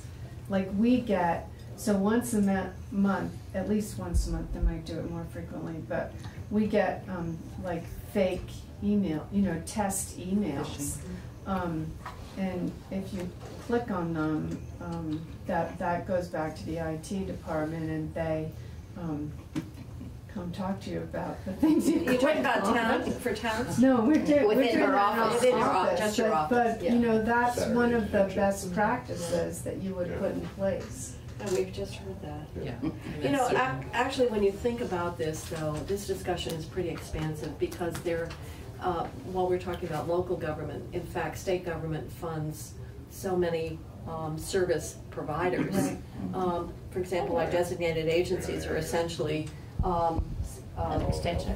quasi judicial entities, and you, um, so the whole issue around security is, um, it, it's pretty universal as we're, you think about it. I mean, um, we have a, a lot of money, millions and millions that are going out through, um, through those provider systems. Mhm. Um, And, um, a lot of them are, there's Well, I certainly, think we- the cost of training, the cost of every, you know, of, of IT systems is, for example, our DAs right now are all in the process of getting new, um, uh, health information systems, health records, and, um, um, how they are, protected. well, protected is, right, because you talk about sensitive information, and um, at least we've limited it to two, as opposed to what we had with Vital, which is anything that is meaningful use. Well, I think I recall discussing that in one of our previous meetings in terms of, yes, how the state government's resources go out into these other organizations, and that maybe we needed to look at it in terms of AHS, in terms of their master agreements with these organizations, that what kind of cybersecurity issues do you have, Mr. Designated Agency? Because we're gonna be funneling stuff through you, and we wanna make sure your organization is secure as, as you would like it to be. And it should be part of that master contract negotiation, new rules perhaps, or Well, the question is. how- expanded rules. I don't know if they're, they may already be there, I don't know. Mhm. But we just want to assure ourselves that there is some protection there. I- I'd be curious when we follow up on this, if, if people think it makes sense to ask Karen to touch base with your, you said there's a subcommittee of your board or whatever that, that, that looks into this and, Well, it's mostly staff at this point, well, yeah, if, right. if maybe we hear directly from them or, or Mhm. they join you or something. Because I do think, I, I don't have a good handle on the opportunity for the state to, to help or, you know, I, I, you've made us aware that this is a considerable concern, but, um, anyway, if, if, Yeah. if that made sense, if you think that makes sense, uh, I would appreciate it. Yeah, it- I think what I'm kind of trying to put together in my, my head here is where the state is already intersecting with municipalities consistently, um, what opportunity there is for, for a statewide assessment of risk there? Do you understand, uh, for the record? Um, Jill Remick, I'm Director of Property Valuation and Review at the Tax Department. So as part of our rolling out our grand list software, which I'd love to come back and talk to you about, because I do think it kind of represents a seismic shift and a pretty big opportunity to move towns in the right direction. We did a informal technology assessment because we're basically gonna have sort of minimum standards that they're gonna have to meet at the local level to use the system. So I'd be happy to bring that back to this group if you'd like. Can you, that would be great. Okay. Um, you did an informal technology assessment? Right, so we surveyed towns, we actually um, had a researcher at VLCT help us make sure we got to all the towns and asked them. So things like bandwidth, um, age of hardware, things like that. Uh, yes. Um, It's not probably to the level that someone who is actually doing an IT audit would want to really know what's vulnerable, but it sort of sets the standard of what we've I mean, that seems to me like it would be useful information. And I'm not sure every town participated, but we had over fifty be percent, so. Useful to know. Thank you. Yeah. Karen, thank you. Thank you. much. Okay. Do we want to take a quick break? Um, Sure. Cass is next, and Dan, is Darren here? Yes. Darren's here. Yeah. Um, and I think Cass is out in the. She is, Okay. yeah. Yep, they're all here. So we're wanna all- break now? Do we want to start now, or do we want to take a quick break now? Quick break. Quick, quick break, okay. Cass Madison, Deputy Commissioner at DVHA and Program Sponsor for. IE. For the record, uh, Darren Prail, Director of Digital Services for the Agency of Digital Services. The first one? Uh, yes, This one? yeah. Okay. And do you have a printout that I can look Everyone at that since there's no printouts. iPad to scroll through? That way I can Darren, you're talk to it. That's number one, that's number two. Thank you very much. I, uh, I'm Or no, dedicated yes. to Agency of Human Services and, and was with the Agency of Human Services before we consolidated IT into digital services. Okay, okay, because we have you listed as the IT Director for the Agency of Human Services. That, well. It's assigned to the agency. I know, I understand that, okay. We're gonna, so, I want to get us going on your Sure. presentation to make sure that we're able to get through and ask. That sounds great. Okay, so just uh, very quickly on the leadership transition, just so you all know, um, obviously every time we testify, we have both AHS and ADS in the room. Um, on the AHS side, uh, program sponsorship for integrated eligibility will be taken over by Lori Collins, who has been with the state for 40 years. She also oversees the MMIS, Medicaid Management Information Systems IT project, um, and uh, she's the chief operating officer for DVHA. So they're sort of working out the organizational structure, but she'll be at the head of it. I think there's some really clear advantages to that. Um, on the federal side, they've moved to a consolidated model, so we used to have a separate state officer for each one of our major IT projects. They have one now just for Vermont, so I think having one person on the AHS side and one person on the CMS side is actually a really good thing. Um, so I think the commissioner will figure out uh, with the secretary of ADS how testimony will be handled going forward. But um, from a, a project management and sponsorship perspective, it'll be Lori. So I have a question. Um, Are we in the process of rebidding the MMIS? Uh, we Um, did that get, we postponed it, and I'm just. Yeah, I mean, they're, they're um, taking a are we- modular approach to MMIS as as well. well, And okay. so they've just, you know, implemented a few modules and they're working on them piece by piece. So I think it'll be good to have that vision coordinated. Yeah. Okay. Okay, so, um, Maybe, I assume everybody knows what MMIS is? That's the Medicaid Management Information System, it's the claim, claims, uh, payment, it used to be EDS years ago, and now Hewlett Packard. DXC. Uh, Yeah, it's been essentially. Yeah. changed over time, so. Yeah, but it's all the uh, technology But it's what pays the providers of, for Medicaid beneficiaries. Okay.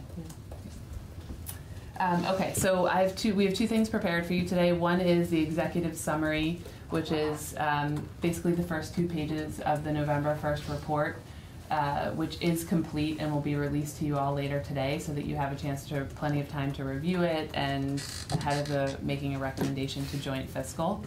Um, and then I have some slides that just walk through like the high level things that we talked about last time that we wanted to make sure to hit on today.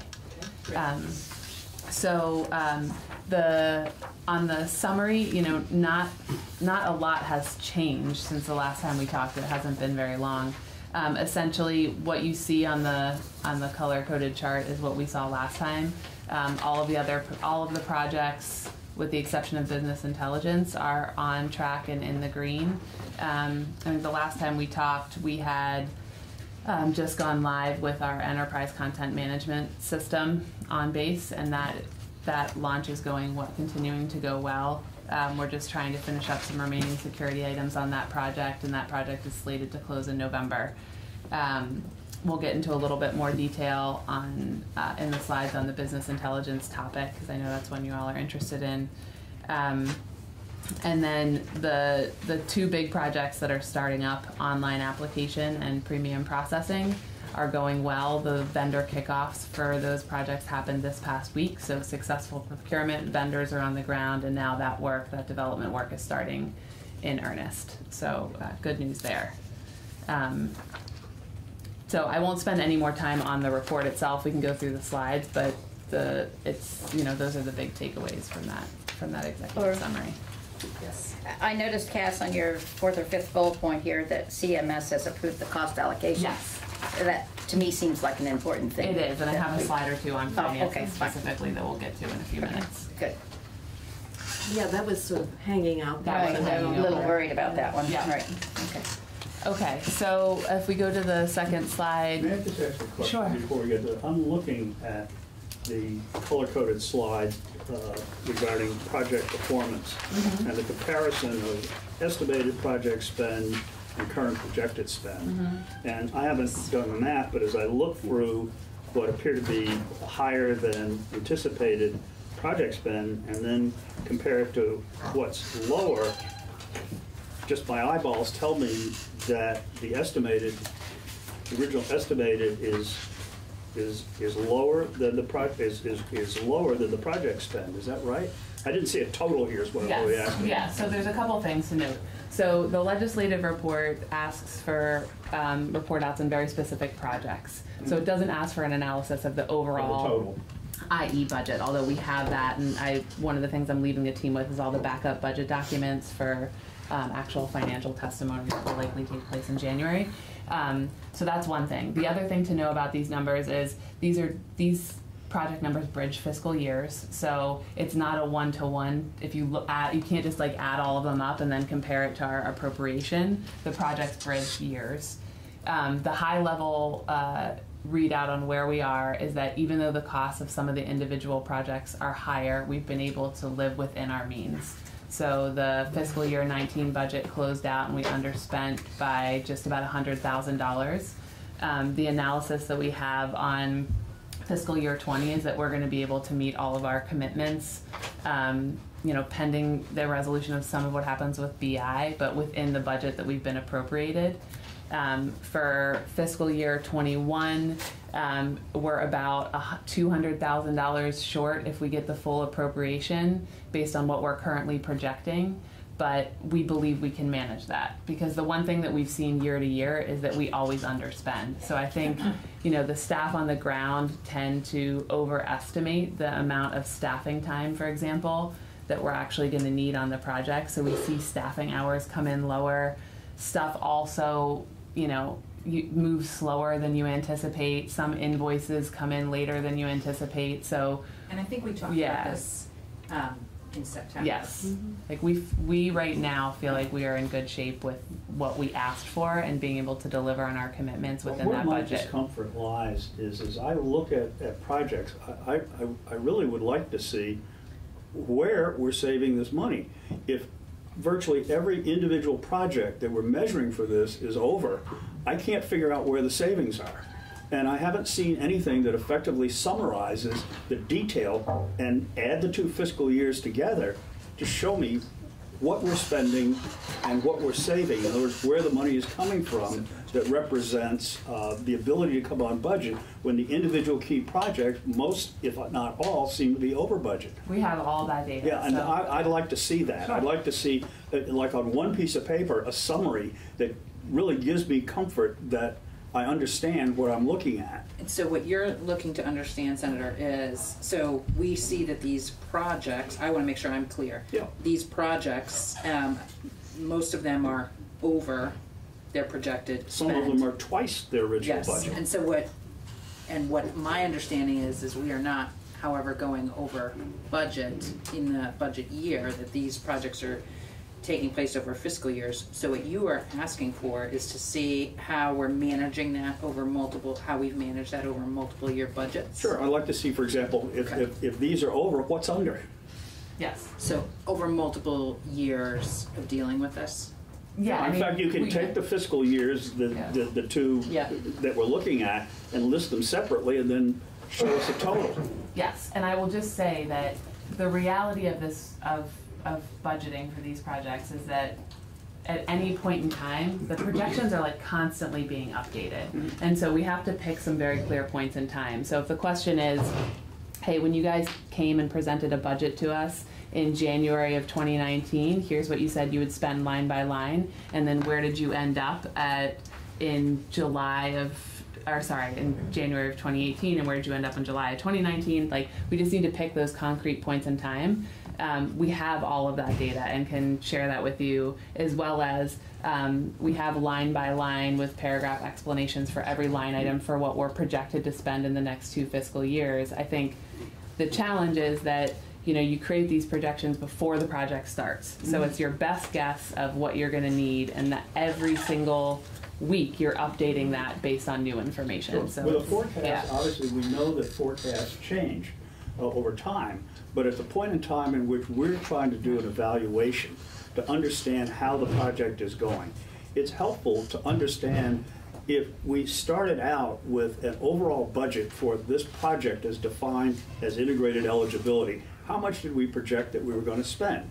At some given point in time, how much have we spent so far? Yes. And then, based on what we know right now, what is the forecast as to how we will end up when this project is done? Mm-hmm. Yeah. And then, of the individual elements of the project, what's over and what's under? That should be, So the, in the effect, first thing you subtotals asked for within is, it. is in the long form report that you'll be getting this afternoon. So Okay. it has, hey, our projected budget was actually 16 million in, in fiscal year 2019, and we spent 10. Mm-hmm. So it, those numbers are there, as well as what we're projecting to spend in gross and state share for the next two fiscal years. We have what we can do is get the budget detail to the committee that's behind it. Okay, and I want to just, once, uh, I want to clarify again, what I'm hearing you ask for is also a forecasting of I what we're am going asking for a So that is, okay, Yep. and that's something that you can also provide. Yeah, I mean, I I ha- would have to go back to Sarah Clark and ask what is the plan for the BAA for the capital bill, and like when is that information? When is it appropriately appropriate to release that information? given that this is your Yes. last day. Yes, they have all Let's the. make sure we connect with you and Okay. Mike. Sure. About who Mike should follow up with. Okay, that makes sense. center. Yeah. Um, If I just want to um, understand what Senator Brock is saying, some of which you can manage be- just because of cash flow and the way um, timing comes in. But I think, if I understand what you're saying, is at the end of the day, at knowing you're going to have these variations and, and crossing fiscal years, if we thought the program was, you know, that, that the work was going to cost 15 million, and at the end, whatever, when completion, it comes in at eighteen, for example. So some of this just shucking, you know, uh, that occurs because of timing, development, estimates on staff.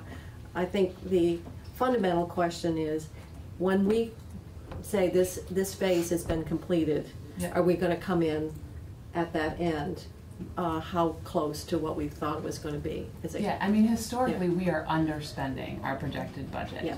Um, I think there's, when you look at any particular fiscal year, there's really three reasons that you see that we're able to stay within even if projects go over. So one is some projects move slower than intended, so But it means, but it could mean that the cost. Yeah, of it, and, which is why I give you the, Yeah. that's why I give you this view, because if you take business intelligence, for example, which we'll talk about, that this, we underspent based on what we projected for fiscal year nineteen, because that project was moving more slowly than we anticipated.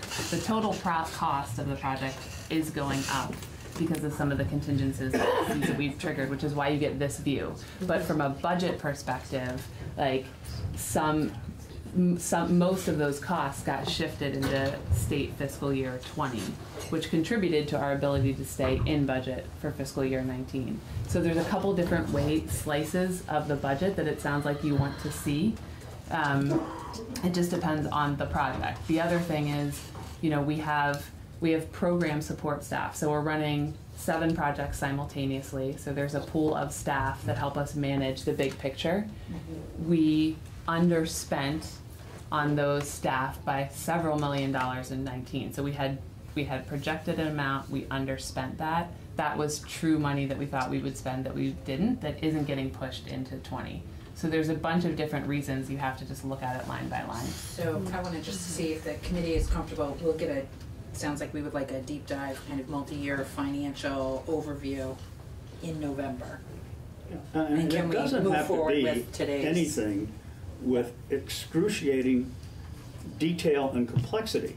Uh, And I am envisioning something that ought to be able to be put on a single piece of paper that would show us what did we project that we were going to spend with some line items uh, associated with it vis-à-vis individual projects at a given point in time when we're evaluating how much have we spent to date in actuality, and then a forecast, and we know that forecasts change as time goes on, how do we forecast that we're going to end in terms of what we're going to spend for integrated eligibility?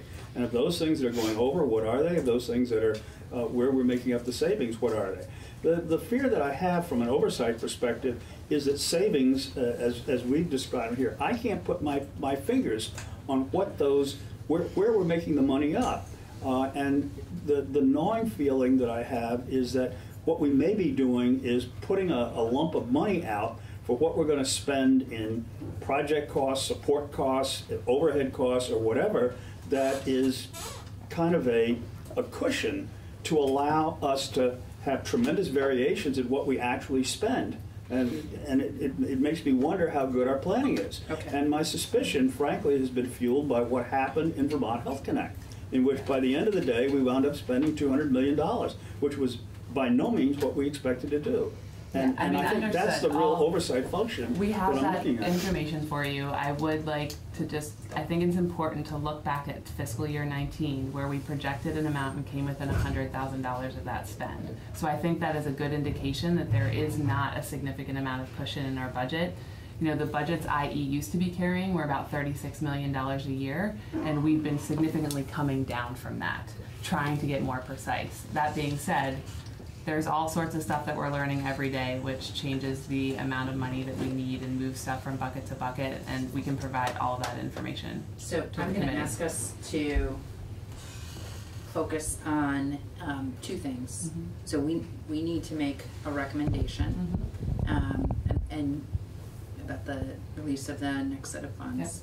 And uh, any information that you need us to know uh, with your departure. Um, I think we want you to go through the, your presentation. Sure. We good? Absolutely. Okay, all right. I, Senator, just one yes. thing, uh, I know Catherine Benham's here, and Yes. obviously from Joint Fiscal and has been involved in the capital bill. Um, so, and, and because it's coming to Joint Fiscal, it might be good, Catherine, if you look at the Figure- materials, Yeah. to make sure that we're get, you know, uh, getting the, the kind of, uh, information in a way that is not only, um, important here, but would be for Joint Fiscal as well. Yeah. Um, And you're talking about the request that the Senator Barbara's making? Yes, Yes. yes. Yeah, For yeah, November. as well as Right, that. because this is an issue that has been raised by joint fiscal members as well, in terms of, uh, and I think you, pre- uh, you had a memo that explains the, the, you know, the, Yes. the ups and downs that you did for the earlier meeting, so I. Yeah, and we've, I've actually, we have that, I have that memo and all of the, the projections at, with a detail line item by line item prepared and have already sent them to Dan Smith. So he has them as of today. The question that we need to just, I need to check with finance and management about the release of those as a part of the budget. So that's the only thing I wanna check on before, when I leave here today. Okay, so the first uh, is just, or can you go through the next? Yep, go to the next one. About what have we delivered, and this looks a lot like what we looked at last time, but it's just the recap. Um, That, again, we committed to delivering four products in 2019 and three in 2020. Um, As of September 16th, the last time we talked, we had to deliver two products. That was Enterprise Content Management, the document imaging and scanning system, and the paper application. Um, we're on track to deliver the doc uploader uh, in October, November timeframe. It probably will close out midway through November. Um, and then the fourth product we'll talk about in more detail is business intelligence, which we're still, our goal is still February. And then we're on track to continue meeting our CMS mitigation requirements for the age blind and disabled population.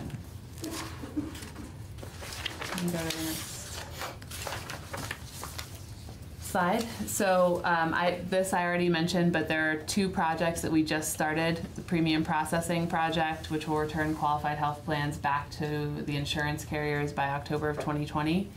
And the online application for the age blind and disabled population to be released in June of 2020. And the economic services programs to be added to that application by the end of next year. Both of those projects are on track and the vendor kickoffs were held this week, so the vendors are on the ground and working. Um, master data management, I previewed this last time. Um, the steering committee voted this week to put that project on hold until a later date because we have too many things going on at once right now and it does not seem prudent to start another project that isn't a requirement of either the legislature or CMS until we get some of these other things, business intelligence in particular, across the finish line. Where is master of data management on here? It's not on there because we haven't started it yet. Okay. So it, there's a paragraph on it in the long form report that says, hey, we're putting this on hold. It was planned in our roadmap. We had wanted to start it in October. Um, but like I said, based on the fact that we're still trying to get business intelligence across the finish line, that we're starting two big, I mean, significant public facing projects, online application and premium processing, both need to deliver real changes to the public. Um, we just don't feel it's prudent to start another project right now. So will premium processing be, um, when would that become effective? Um, October of next year would be, Those of us who are on the budget, remember a Right. couple years ago, you, we, you assumed a million dollars in savings by having the insurers Yes. do the billing. so they'll pick it up for plan year twenty twenty-one. Okay. But remember, it's not like a clean break, so e- the insure, insurance carriers will start doing the billing for plan year twenty twenty-one in November of next year. We, the state, need to continue to accept payments for twenty twenty plan year till about March of twenty twenty-one. Um, and need to be able to adjudicate 2021. 1095 changes. People who are past due. You have a three month grace period if you get Yeah, I advanced know, I- premium tax know. credit. That's a whole So different biennium, right? yeah, so there's there's some decommissioning that has to happen uh, in the first and probably second quarters of 2021 before we're fully out of that. that. Okay. What, just. Oh, sure.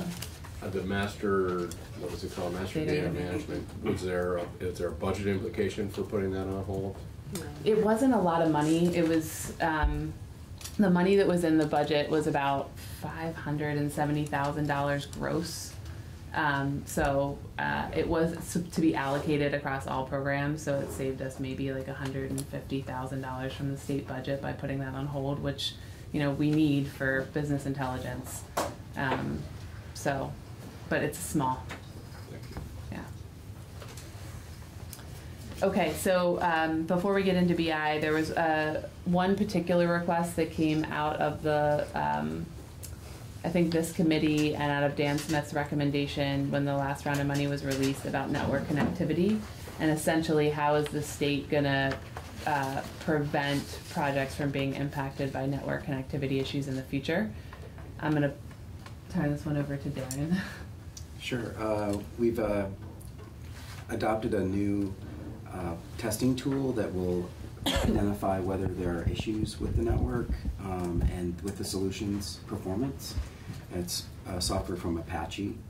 Um, And I I think we're, we've incorporated it into our development lifecycle. So it's going to be run as part of the routine testing cycles along with the other testing. Uh, We hope that'll avoid issues in the future. And this had to do with the transfer of data Mhm. that caused the significant delay? Yeah. Significant delay, okay. Correct. Yeah. So this is functioning now? Yes, yep. It's working, Okay. okay. Yeah, we haven't had any uh, uh, function, or replication issues uh, for, for a couple months now, so it seems to be working correctly in terms of the network itself. Um, But now we have additional testing tools to look on. Um, Real Yeah, he's slow. looking right in. He's fascinated by integrated. Now we have. He's taking my I don't know, he took off. That's a question about this one. Um, okay. I I think I'm sad. Sorry. No worries. Okay.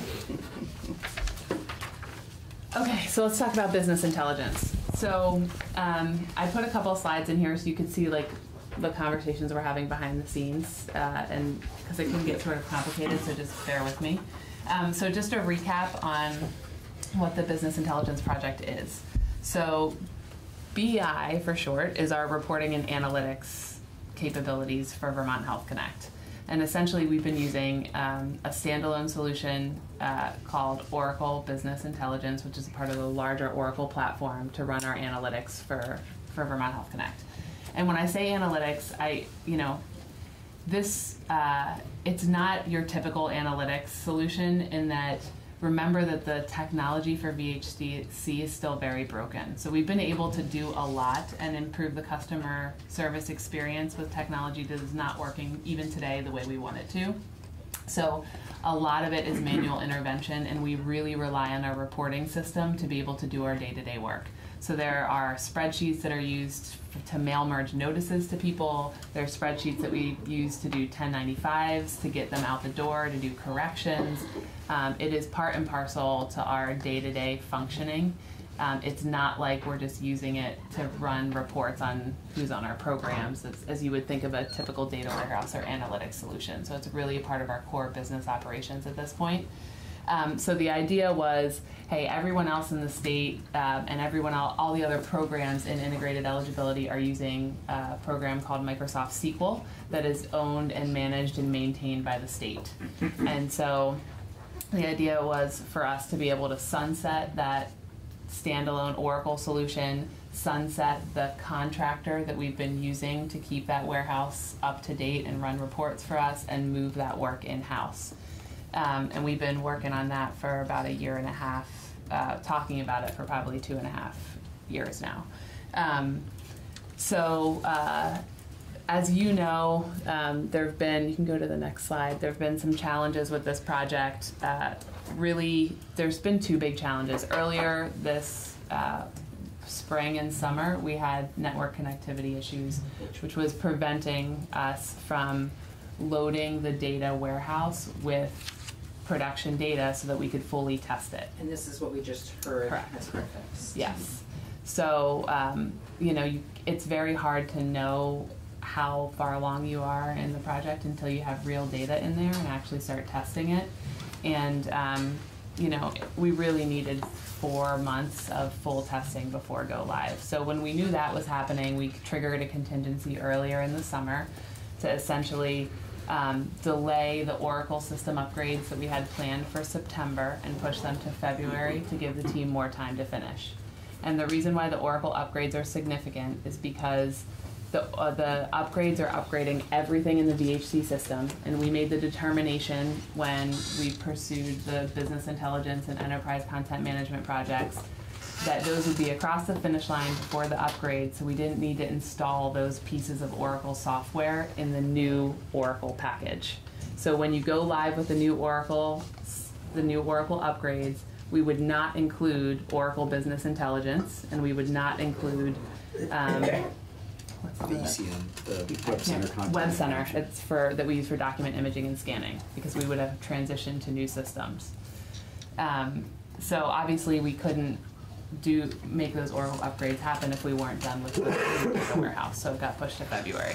And so when we talked back in September, we said, all right, we have some critical milestones that the team needs to meet in order for us to feel comfortable that we're gonna hit the federal, the February timeline and not trigger any further contingencies. And so that's really what we wanna update you on today.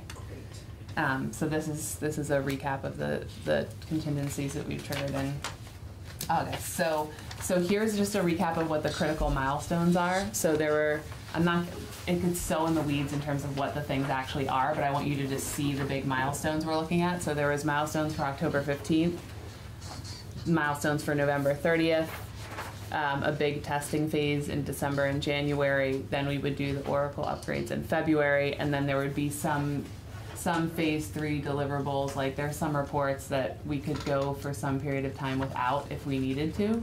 Um, and so those could come after the Oracle upgrades. So back in September, the team basically laid this out and said, all right, each one of these phases are major contingency trigger points for us.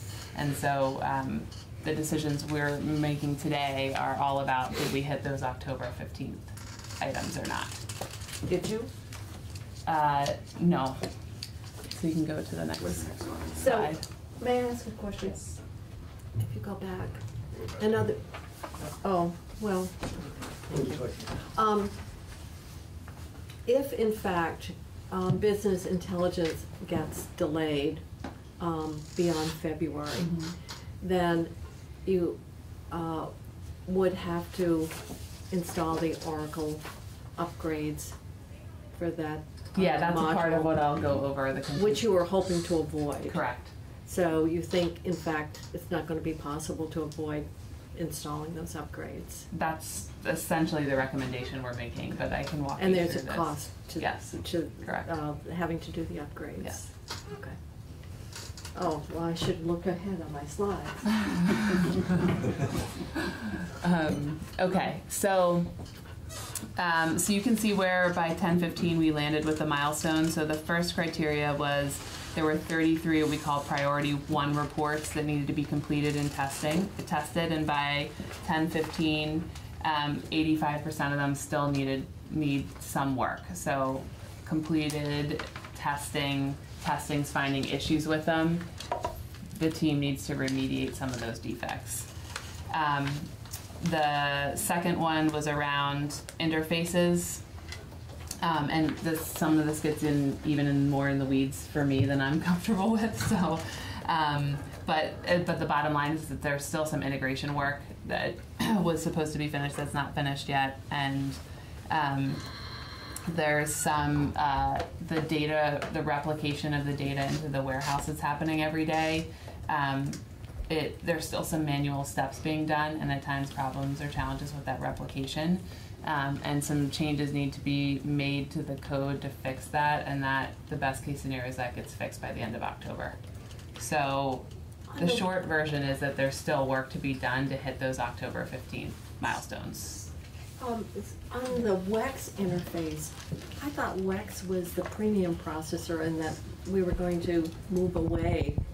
So I'm confused. You need to develop an interface with WEX, which is a, if, in fact it is the premium processing vendor, which we're gonna replace. Right, but not the- until, uh, so this Why- is about so- enrollment reporting that Yeah. has to go to the federal government Yeah. and has to go to the insurance carriers. And Uh, so. But why is that interface not already in place? I guess I'm just concerned, what, what needs to be developed since that. So I- this is replacing the existing interface with the new data ware, with an interface with the new data warehouse. So essentially, there's integration between. So there's already an interface, but you have to replace it, is what Right, you're saying? correct. All right, thank you. So that our enrollment reports work. Yeah. So, um, so basically, we, we considered three different contingencies. Um, option one was just to s- delay the Oracle upgrades further and give the team more time to finish the warehouse. Um, you can see, these are just rough estimates of costs. Uh, the host, the cost of hosting the, the, um, existing data warehouse and the new data warehouse like in tandem. I think Darren actually said it's, they negotiated down to three hundred twenty thousand, three twenty-seven 327. a month, so a little under that four hundred thousand dollar number, but still significant for every month that we delay those Oracle upgrades. Um, and then we, you know, as long as we keep the current system up and running, we need to pay Archetype, that contractor, to continue to run that. Um, so there are some costs there. Again, those are gross numbers. Uh, anytime we're talking about development, it's, this is 90-10 funded. And anytime we're talking about maintenance and operations, it's 75-25. So um, the state share is anywhere from 10 to 25% of these costs. Um, option, I mean, so option two, which, uh, that we talked about was, um, install the Oracle software.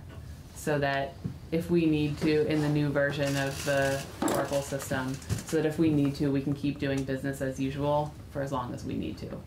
Um, what we're trying to figure out now is whether this ha- this also requires the delay of the Oracle upgrades by some period of time. So the question we have out for for Optum and Archetype, our contractors, is how much time do we need to install the new software and fully test it before we can go live? Because don't forget, we're in the middle of open enrollment, um, and we need to install the new version and test all of the reports end to end before we can go live. So there is some question as to whether that can happen till February, or does that have does do the Oracle upgrades have to be delayed to March or April, so that we can get the new version of the of the software in place. Um, so there's the costs there are still TBD, but actually installing the software is one hundred and forty-five thousand dollars. Not that's not where the significant costs are. Um, but I think from a business perspective, this is certainly what what made the business most comfortable because we know how to handle what we're doing today. Um, uh, so, and then option three was Could we go back to option two? I'm not Sure. even sure I understand what it means. so it's So what I know you we're gonna- said. Oh, we're gonna delay the upgrades, eh, but what does it mean to install existing Oracle warehouse solution into the new environment? It's exactly what you said. So we have Oracle So I software guess I today. didn't know what I said. Yeah. So we have Oracle software today. Oracle Business Intelligence is our reporting software.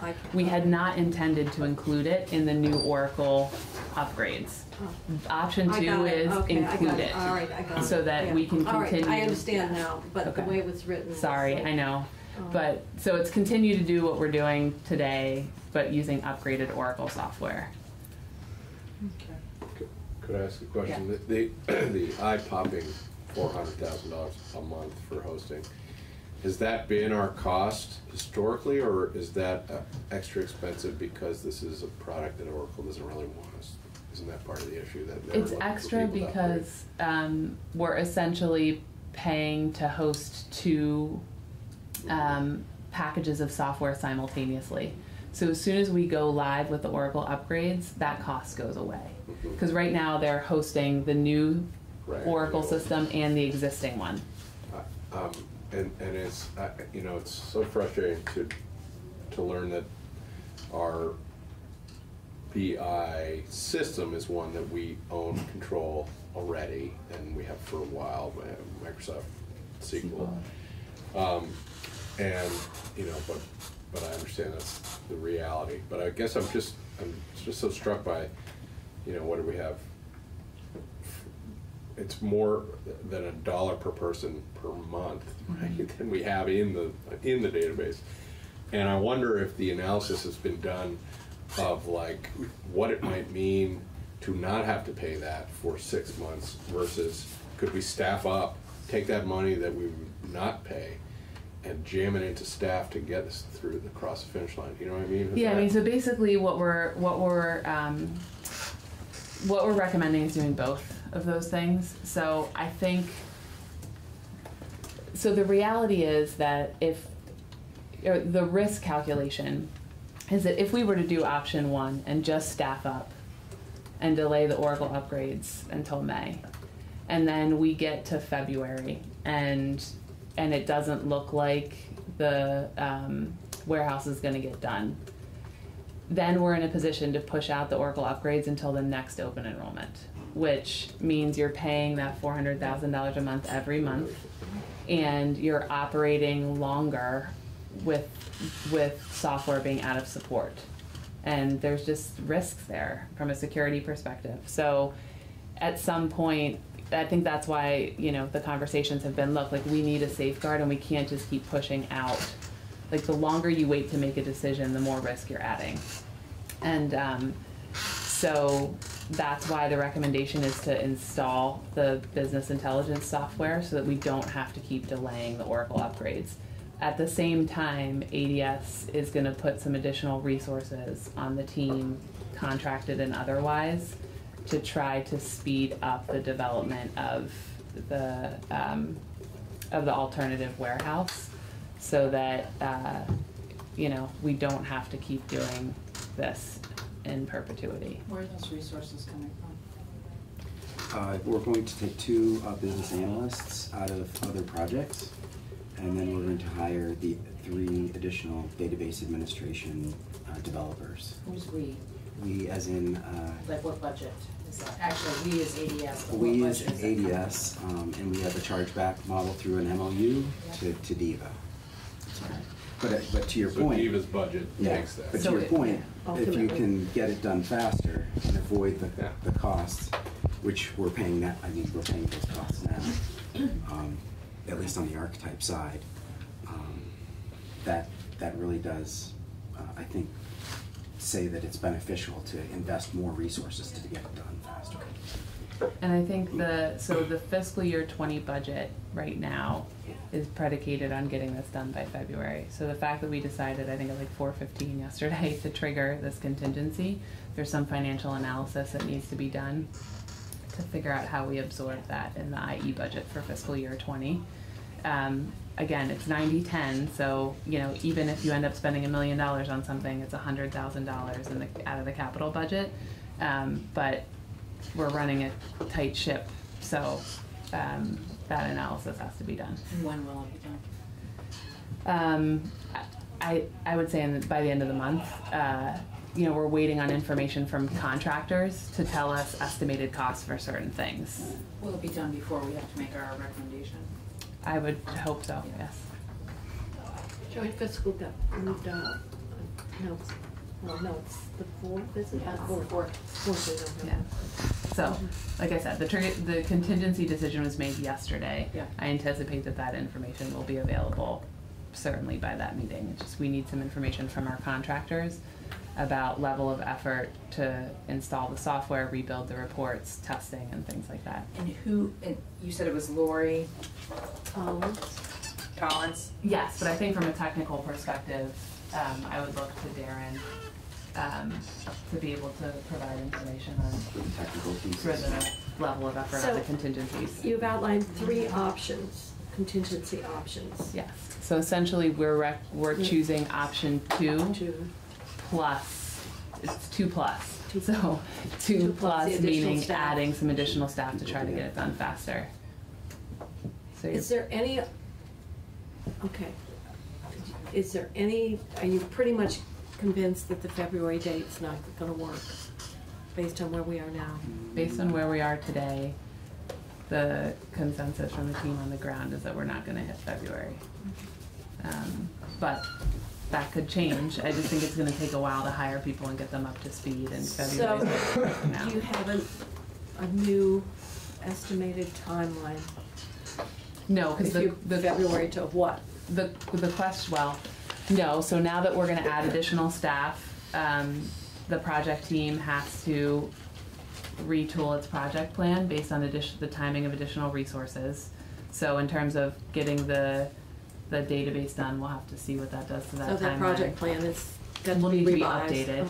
And then, um, the question, outstanding question we have for Optum and Archetype is what is the level of effort and how much development has to happen to install the new version of the Oracle software? Because we don't, I don't know how much has changed between the old version and the new version. If there are not a lot of changes, then you don't have to do a lot of report rewriting and it should go pretty quickly. If Oracle changed some things, then some of the code or the reports might need to be rewritten to get them to function appropriately in the new version of the software. That's what we need Optum to tell us. And that will let us know, like, can they get it installed by February or is it March? Or is it April, you know? Okay, so we have a couple of things that we're gonna be seeing Mhm. prior to meeting in November. Yeah. Prior to making the recommendation. Correct. Um, but I think the, you know, um, I think it's always really important to be extremely transparent with you all, obviously, about things that are difficult. Um, I think when you still look at IE as a whole, the important takeaway of that first chart is essentially seven projects in flight. There's a lot of green on that chart.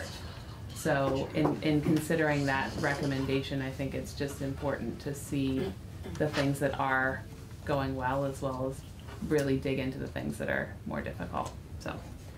So I'm just gonna remind the committee also, this is, um, this is pretty important what we're dealing with. We do have AD, our Department of Public Service sitting, waiting for us as Okay. well, so. I can just do a quick two minutes on finances. I think that's, yeah, sure. Okay, so that's the Important. last slide. Um, so again, the big takeaway on the financials is that while the cost, of some of the individual projects were higher than initially estimated, overall spending is within budget. I already mentioned, um, we came in budget for nineteen. Um, our projections are still to remain in budget for twenty. For twenty-one, as I said, we're projecting to be over by about two hundred and eighteen thousand dollars, but based on our historical spend, we feel like we can manage that. Um, and then uh, on the cost allocation side, I mentioned last time that we had approved an al- we had proposed an alternative cost allocation methodology to CMS. They have approved that cost allocation methodology, which is now accounted for in all of our budget projections. So that's really positive news. And they've approved the next two years of federal fiscal year funding for. IE. Did the cost allocation actually have, uh, um, preserve that level of Medicaid contribution, or did it reduce it? It reduced it, but not as much as they had originally counter proposed. So it was a good middle ground. So when you look at the, the projections of spend, overall spend, for example, in twenty-one, it's actually lower than twenty, but the state share goes, is, is higher. So if Medicaid is paying less, because they say that, Yep. that their share was too high, does that mean that the food stamp, the SNAP, um, cost allocated portion is gonna go up? Yeah, it goes up across all the other It programs, does. so Well- it increases the state share of Well- any, of the cost of any one project Yeah. essentially. Well, I'm m- more concerned about like TANF and general Yeah. assistance, because those are all general fund, we're all tapped out on the. Right, and so essentially when you look, I mean, I. So there will be collateral impacts. Correct. Um, So for in- twenty-one, for example, we had hoped to do three major projects, can really only do two because of the cost allocation. So that's all stuff that will have to be talked about in terms of the future roadmap. What is the change in ratio that was approved? Um, it depends on the project, I don't have that off the top of my head. Um, and then the last one is just that, you know, we haven't successfully been able to draw down SNAP funds to support IE, so SNAP will reimburse 50-50 for any portion of functionality that benefits the SNAP program. If the state could figure out how to get those funds from FNS, it would help significantly to the tune of like a million dollars or nine hundred seventy thousand dollars a year. It's just, it's very diffi- it's been very difficult to, um, bring them into the fold. So can you um, tell me why uh, we should recommend the release of the second um, funds? Sure. I mean, I think that overall, when you look at how IE is doing, even today with some of the challenges, we are still delivering more technology that's benefiting Vermonters and spending less than has been done historically.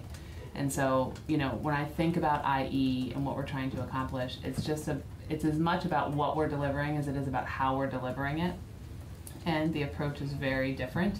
And so when you look at what's green on these pieces of paper, this represents actual technology that's either making Vermonters' lives better or staff's lives better. So that's that's one piece. Um, the other piece is there's there's components of this roadmap that are not optional for us to do. And so when you think about the online application, for example, that's something we have to do to be in compliance with with age blind and disabled rules for Medicaid. And at some point there will be costs of non-compliance. And so I think the challenge with technology in general is for government is that it's, it isn't optional. The question is, are is the strategy we're using uh, uh, doing a good enough job at delivering value and reducing risk for the state? Um, and I think when you look overall at what we're able to do, the fact that we're able to deliver this technology and stay within budget is is a significant improvement on where we were two years ago, or four years ago, or six years ago. What would be the consequence of the joint fiscal committee not giving you those dollars? Um, I mean, the project would Probably would essentially house no stop. And there's a risk that CMS would start to levy financial penalties against the state of Vermont for noncompliance.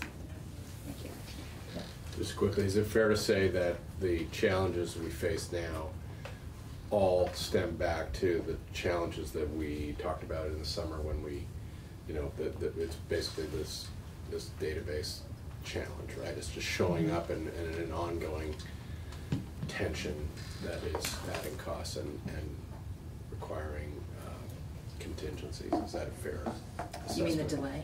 Yeah, I mean, I mean, we're looking, it's not like this is a new, new issue that's cropped up or a new, so as we try to Just the figure out. manifestation of Yeah, that's right, the same thing that we, Um, yes, I think that's fair. I think, I think the thing is, you're never going to get the uncertainty out of an IT project, and um, untangling from a system that it was a monolith that uses Oracle software that is really troubled is going to be difficult, and there unanticipated things will happen, and so. But the value of breaking the projects into smaller pieces and parts is that when there's a project with one, a problem with one project, it doesn't tank all of the projects. So if this were three years ago and we were having a problem with the data warehouse, everything would stop. In this scenario, you have six projects that are able to continue and do, you know, deliver value while you manage a problem with one single piece of a system. And so the problem that we're having today is the same problem that we've been having since the summer on one project, but it hasn't it hasn't impacted the other projects, which is it's it's really about managing risk effectively. It's not about saying everything is going to go perfect all the time. That's just not reality, especially given that we have a system that we're untangling from that we don't really understand. So uh, Just, um, will we be getting another memo assessment of Yes, progress Dan from will Dan be, Smith? Dan is gonna write another memo after he gets I the assume- report. Okay, thank you. Yes, thank you. Thank you uh, very for much. all your work. Best of Uh. Best of wishes. Thank you very much. Um, Let's make sure, Mike, that we can actually pass on to speak with on the various items that we want to. I'm leaving. So you really have a safe and fantastic. We have uh, three items that I think we had asked for an update on. Um, CoverageCo, uh, implementation of Act 79, uh, and the readiness to complete the 2020 um, telecom plan. And so, uh, we're gonna hear about that, uh, from you all. Uh, we'd originally scheduled you for an hour. We do need to spend some time with, um, Becky Wasserman. Uh, so we will give you as much time as you need, but, you know, Well, thank you very much for having us. I actually don't think we'll need that much time. We'll try to be as concise and, um, and uh, quick as possible. Uh, So thank you very much for having us. Um, We're happy to be here. Uh, It's been a while since we've come to JITOC and spoken to you, so, um, in fact, I think it was this time last year. Um, So I want to talk about the three items that uh, you asked us to report on. Um, the first being Act 79 implementation. Uh, we were very happy with many of the aspects of Act 79. Uh, it's a it's been a great bill, I think, for um, for many reasons. Uh, the first being um, the uh, the emphasis back on broadband um, and telecom. There's there's been a lot of discussion leading up to the um, last legislative session. I think drove um, many of the items, uh, programs created by Act 79. Um, the first item is the Broadband Innovation Grant. Um, we have started that process. We've issued um, a solicitation for grant applications, and we are expecting grant applications in uh, for the first round um, in our office next week. We've had a lot of interest. Um, nearly a dozen entities, I think, have um, expressed intent to bid, either in this round or a subsequent round. So um, there's a lot of interest out there, and we're looking forward to um, getting some of those projects off the ground. Um, we anticipate issuing three rounds. As you'll recall, it's $705,000 uh, in grant funding for broadband innovation grants. This first round that we issued um, at the beginning of September, Could I just go back, Clay? Um, You used the term grants and then you used the term vendors. Am I, I- Oh, I- I'm sorry, I'm, yeah, my apologies. No, there would not be vendors there. Um, and so, uh, okay, I just want, I was like, I well, said that, that I an don't error, usually yeah. consider, you know. Not at all. oh, No, Okay, the thank you. Vendors who typically seek grants in this Yeah, round are yeah. corrected. Yeah, All right, the- thank these you. are mostly uh, municipalities. Right. Uh, and. uh, Like what we had at the Lyndonville meeting, the possibility, I don't know if that ever moved forward, but. uh, Mhm. that- Yeah. Right, that's- same thing, right. That's what we're talking about. But when you used the term vendor, it kind of. Confused my simple. My, my apologies, that was um, a mischaracterization, so I did not intend to use that term. Um, They're mostly community groups uh, and uh, municipalities, uh, communication union districts. Um, We wanted to do three grant rounds. We wanted to get one off the ground right away because we knew that there were entities out there that were waiting uh, for this opportunity and were ready to apply. We anticipate giving out three grants uh, this fall. Uh, The legislation allows us to award um, up to two grants to distribution utilities, these are electric utilities, um, after we complete um, our electric utility feasibility study, which I'll talk about in a second. Um, So in February, after we're done with that study, we anticipate issuing a second round that will be for distribution utilities interested in studying um, a a broadband project within their uh, DU territory. And then the third round, we are waiting until April with anticipation that at town meeting day in March, uh, many communities will debate and possibly form uh, communication union districts. It's the law that allows towns to band together to build broadband. And so we certainly want to encourage communication union districts and want to give out the bulk of the money after towns have had time to form, have their first meeting, and um, be ready to, to apply. So. Um, in addition, uh, and uh, in anticipation of um, uh, of receiving grant applications, we've also um, uh, met with many communities, Windham County being one, uh, quite a few counties, or two counties in Franklin County, um, uh, several in Lamoille, so we have a meeting in Hyde Park coming up. Um, Towns all over are interested, so we're trying to uh, meet with towns in person if that's what they want, um, and talk about um, how they can uh, uh, take advantage of this program and our other broadband programs. The next item um, that um, we're well on our way to completing is the broadband uh, utility study. This is a study of whether electric DUs should be in the broadband business, how, how they could uh, get into the broadband business. We've hired a consultant, so there was a budget associated with that. I think it's fifty thousand dollars. We've hired a consultant, Magellan. Um, they've done a lot of work in Vermont. Uh, they're well aware of um, Vermont law, uh, Vermont's energy policies, our broadband policies.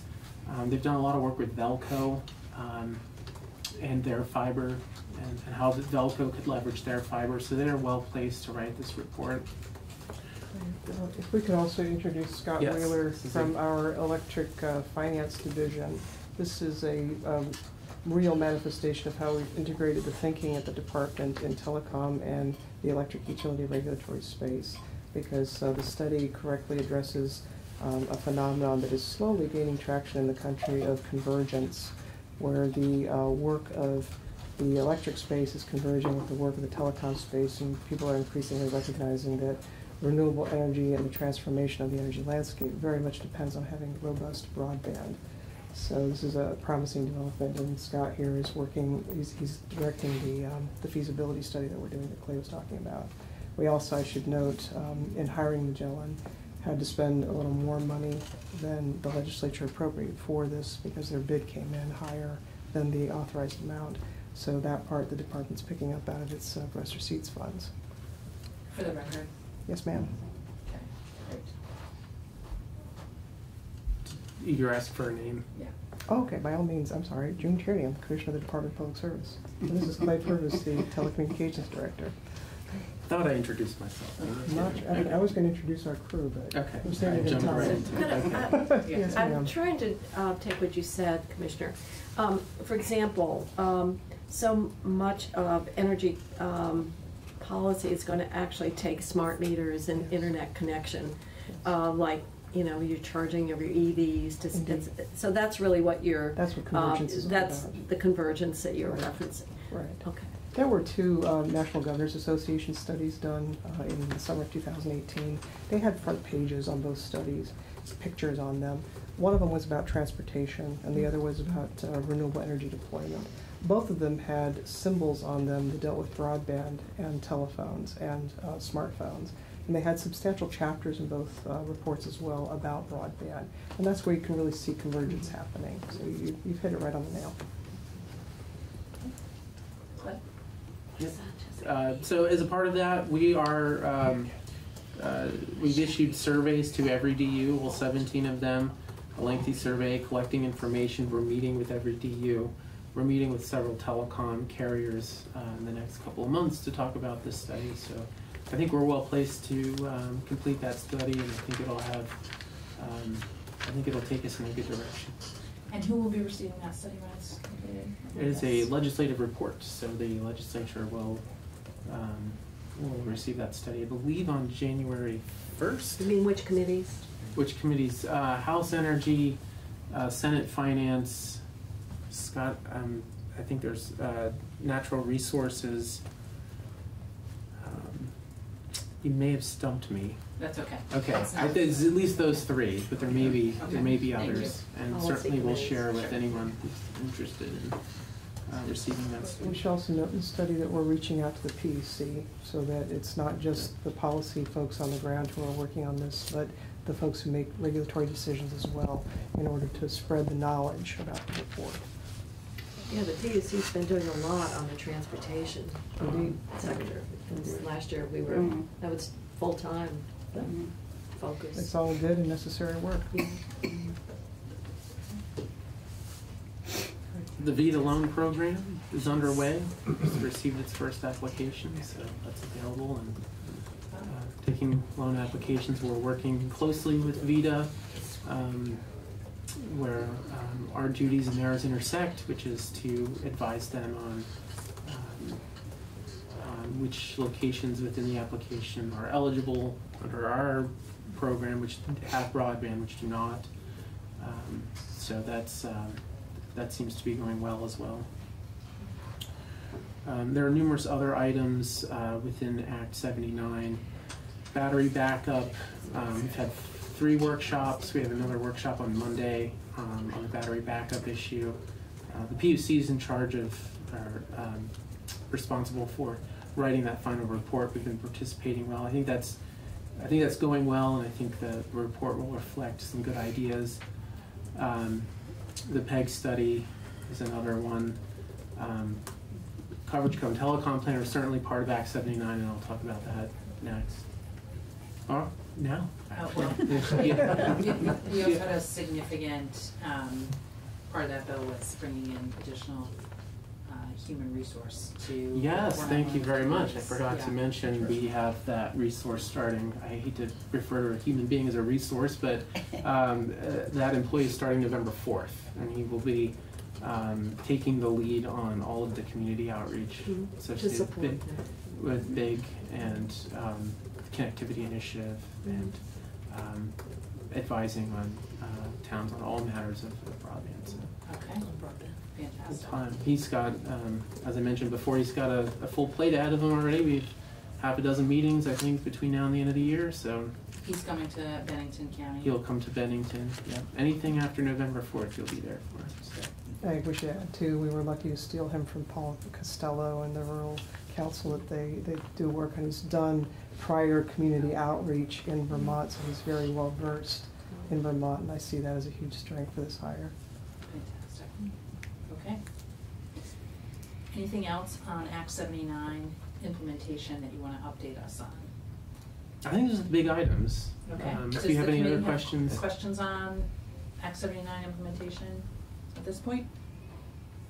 We good? Um, I guess I'm, I'm trying to remember, the other big piece was the, uh, grants to build out, and, and uh, will you just remind me, was that in another phase after sort of the small, uh, planning grants, or, or? There, there uh, was increased funding for the connectivity initiative. That's something that continues, so we, But- we, I, okay. I, I'm thinking more of the, the, the loans up to four million or whatever, that wasn't, was that through the connectivity? No, that was through VEDA, so that, that's- that has that's been good. established, VEDA. VEDA, and, uh, we worked with VEDA, they, they've established their program, they've received their first loan application, uh, for a project in, uh, Lamoille and Franklin, so Okay. it's exciting. Um, You know, Mm. this just points out how we are making, uh, um, you know, we all are concerned about economic development, and our, s- um, our legislative economist said, if there's one thing that we can do for the rural economy, it's broadband. Um, and, um, a- and o- oftentimes what we look at, like in commerce, is the budget for ACCD, without really looking at, in the aggregate, wh- where investments are being made um, in a more comprehensive way. There, years ago was a report, and um, like all reports, it became about that thick, and it died of its own weight and didn't have very much utility. But I think we constantly need to say, you know, uh, how we're supporting the economic development of this state, um, whether it's through um, this kind of initiative to uh, workforce or whatever we might be funding. And, and we see it in, to some extent, in um, in appropriations. But I, I just think that um, oftentimes people don't Connect what might happen in one bill and sort of the, the way that it complements or augments what um, um, is happening in other parts of state government. So I just wanted to say, I view this as, this, you know, this progress is really so much a part of what is key to the economic um, development of the state. Senator, I could not agree with you more. Um, I also think when we talk about this issue with economic development, it is important to not let it be defined strictly by economic development. I think our communities won't grow if they don't have this, but we've moved into a place where this is also critical for access to public safety, Absolutely. access to government, access to education opportunities, healthcare.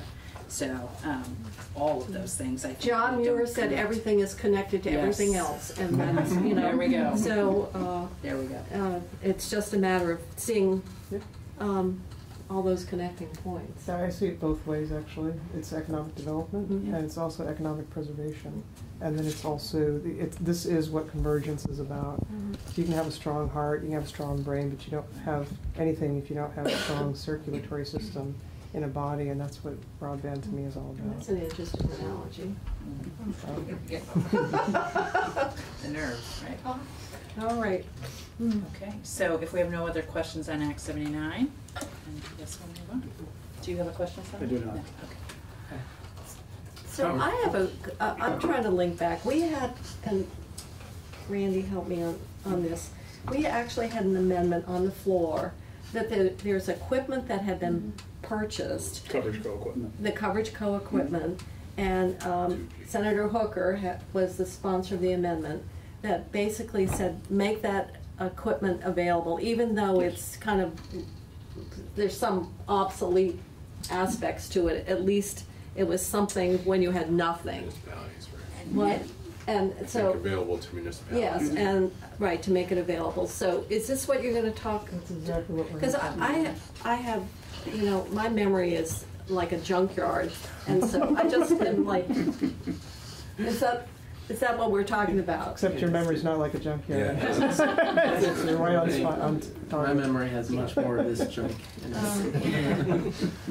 Uh, Um, Yes, and with regard to CoverageCo., we had action in place prior to the passage of Act seventy-nine, so I think, I'm, I'm hopeful that we're gonna hear Let's start at the beginning. thanks. Okay, or, or at least start, I can start all the way at the beginning, I can go back to two thousand twelve, or I can start after they go out of business. Um, I- Uh, but it's the plans, committee's but- summary, two, two sentences. Two, all right. Yeah. Uh, the VTA, which used to exist, um, invested, uh, in this project of putting up Francis' well, micro cells. These are very small cellular units, um, that would go on telephone poles. Um, they, uh, partnered with a company called CoverageCo. Uh, CoverageCo. is a subsidiary of the manufacturer of the equipment. Um, so you can, you can see, uh, the benefit to, uh, the manufacturer there. Um, and, uh, it cost about five million dollars in total. Um, these went up on telephone poles. They completed about half, well, about a third of the, um, the total project and then went out of business. The reason they went out of business was because they had agreements with the large carriers to carry their traffic for them. So if you had a cell phone, you were out in Stockbridge, um, and you had a Verizon cell phone, you could connect to one of these uh, units, um, and Verizon would pay CoverageCo. four cents a minute to carry your call. Uh, what they found out was in places like Stockbridge, um, there isn't enough cell traffic out there to cover the cost of maintaining these units, And which were largely deployed on roadways. which were largely And deployed. not centers. Correct. So if you were driving down the road at 60 miles an hour making a cell phone call, you would connect to one of these boxes for a minute at the most. And the idea was that there would be handoff and that they would be like daisy chain down the road and you would be able to carry a call um, as you go down the road. And some of these sites made a whopping five to ten dollars a month. They had costs of about three hundred dollars a month.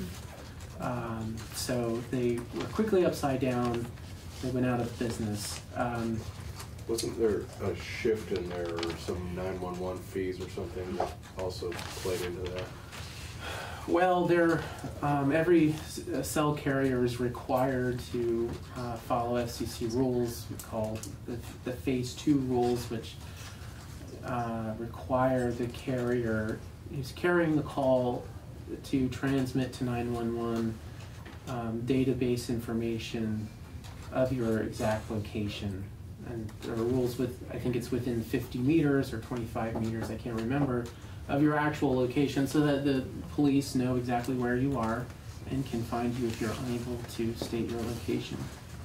Um, every carrier complies with that, CoverageCo had to comply with that as well.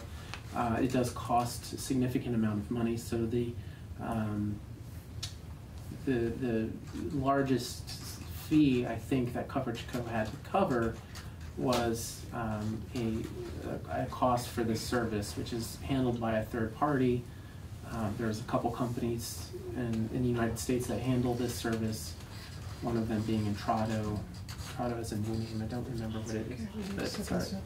Yeah. Intrado, it's a nine-one-one out of Colorado vendor, isn't it? That's right, yes, and they, um, they provide a multitude of nine-one-one services. One is this database service. Um, so that's an expense, the average site costs about three hundred, uh, well, uh, between hundred and fifty and three hundred, depending on the site. Um, so, um. I'm the- sorry to interrupt, Yeah. wasn't there a change in some of that dynamic? I, I I I thought thought coverage there was some went out, and change. nine-one-one coverage went out too, wasn't? No, what happened was, Randy, at the time, the Coverage Co. did their financial projections. The Geolocation's piece was they had planned to have all of the carriers, uh, uh, the major carriers involved, uh, connect with them, uh, and all of them did, except AT&T declined to do so, and there was a substantial amount of calls that came through AT&T that were unreimbursed. So, Right, all cell carriers are required to carry all nine-one-one traffic, if they're capable regardless of whether it's their customer. But not non, non nine-one-one travel and, uh, connection, and that's where, that's where the cost breakdown came through, by not So having AT&T as, uh, available, uh, You to. appropriated a hundred thousand dollars, you asked for. That was, that was later, and That was the later. hundred thousand dollars was to provide a resource for the Public Service Department to be able to provide support to municipalities that wanted to, um, to And get then these CoverageCo boxes. I think we're gonna We'll get get there, there. yeah, Okay, so so let's- chronologically. So let's- after they went out of business, um, w- we were uh, reappropriated the remainder of the VTA capital um, budget for uh, this project. We issued an RFP to find a new network operator. Uh, we received two bids. Um, we weren't um, uh, completely satisfied with those bids. There's still a possibility, they're still hanging out there. We have not uh, made a definitive decision on those bids. Um, But in response to those bids, we decided to change tact and figure out, yeah. Yeah, I'm just gonna stop you for a second. Yeah. So a new network operator would have just operated what was up, would have had to figure out the costs of connection and. Not necessarily. We, we made our RFP broad enough Yeah.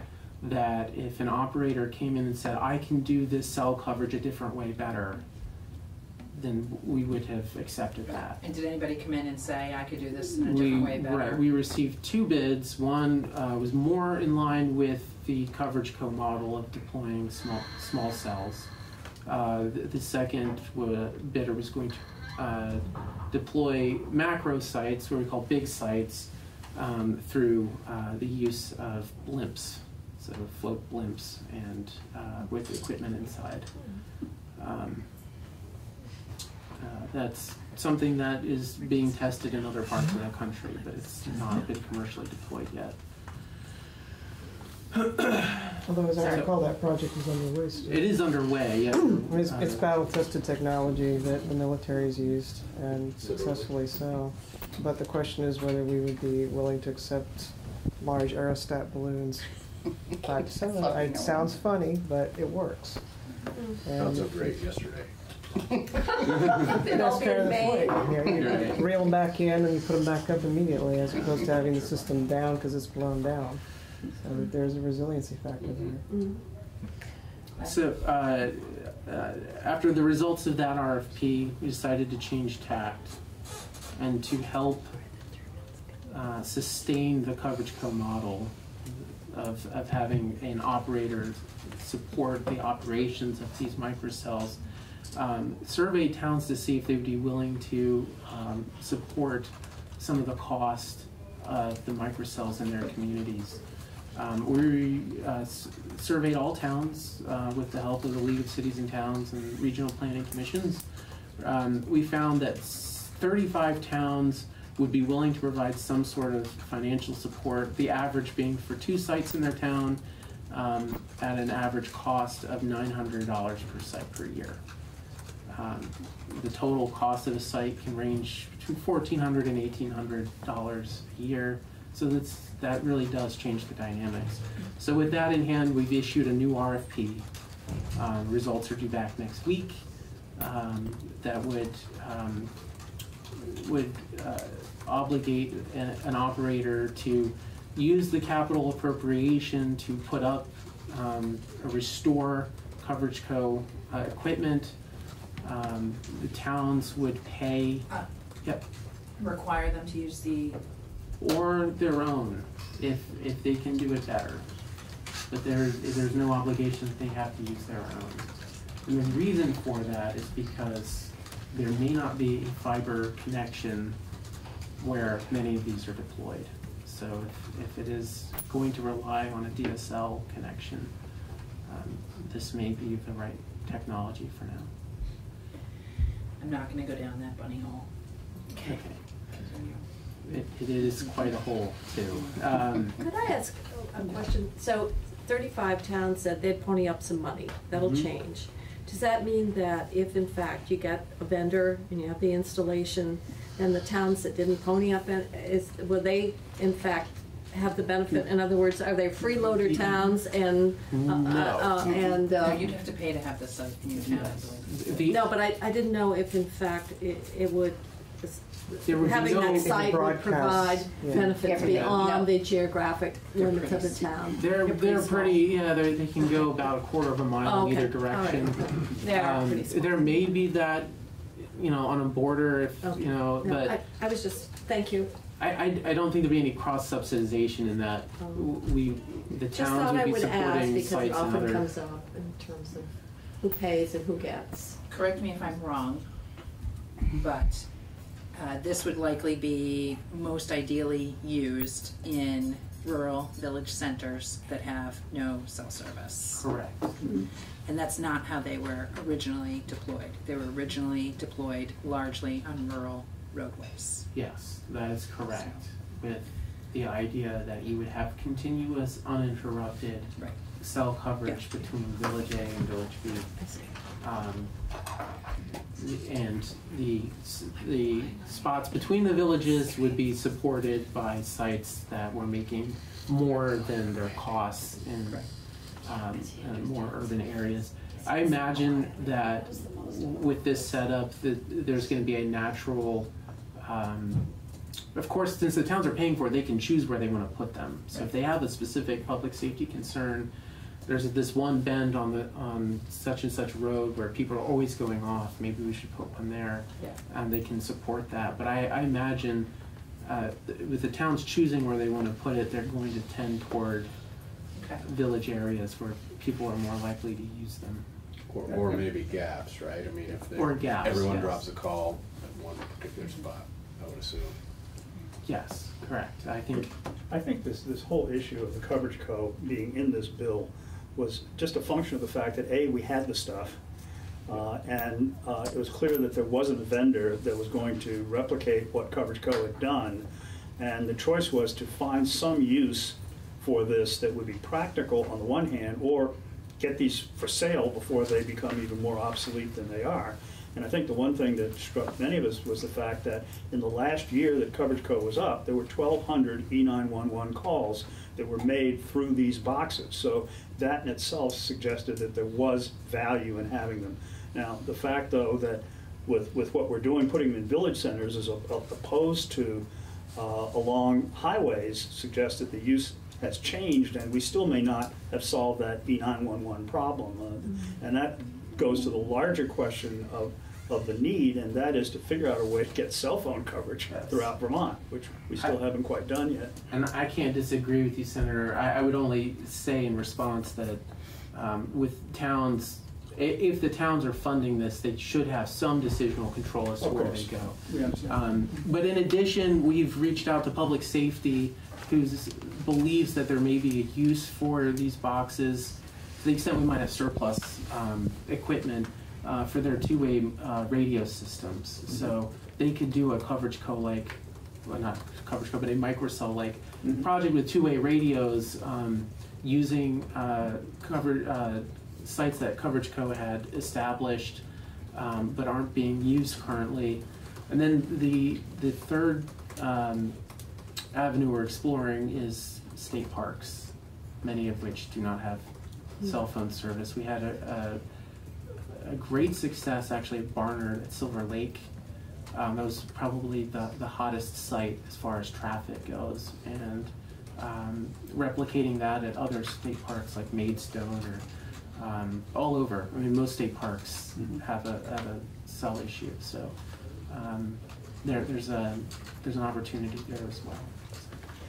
Yes. Sorry, but I go to state park at least once a year, camp, and not having self-service is okay. Um, I'm just curious if, if, if we have a, any consumer data on whether or not it really is wanted in state park. It's just a Uh, stretch. the, the only data point we have is that the, the Barnard site was the, the probably It was used a hottest. lot. Yeah, and I don't know if that was by park goers necessarily or people in the village on the other side of the lake.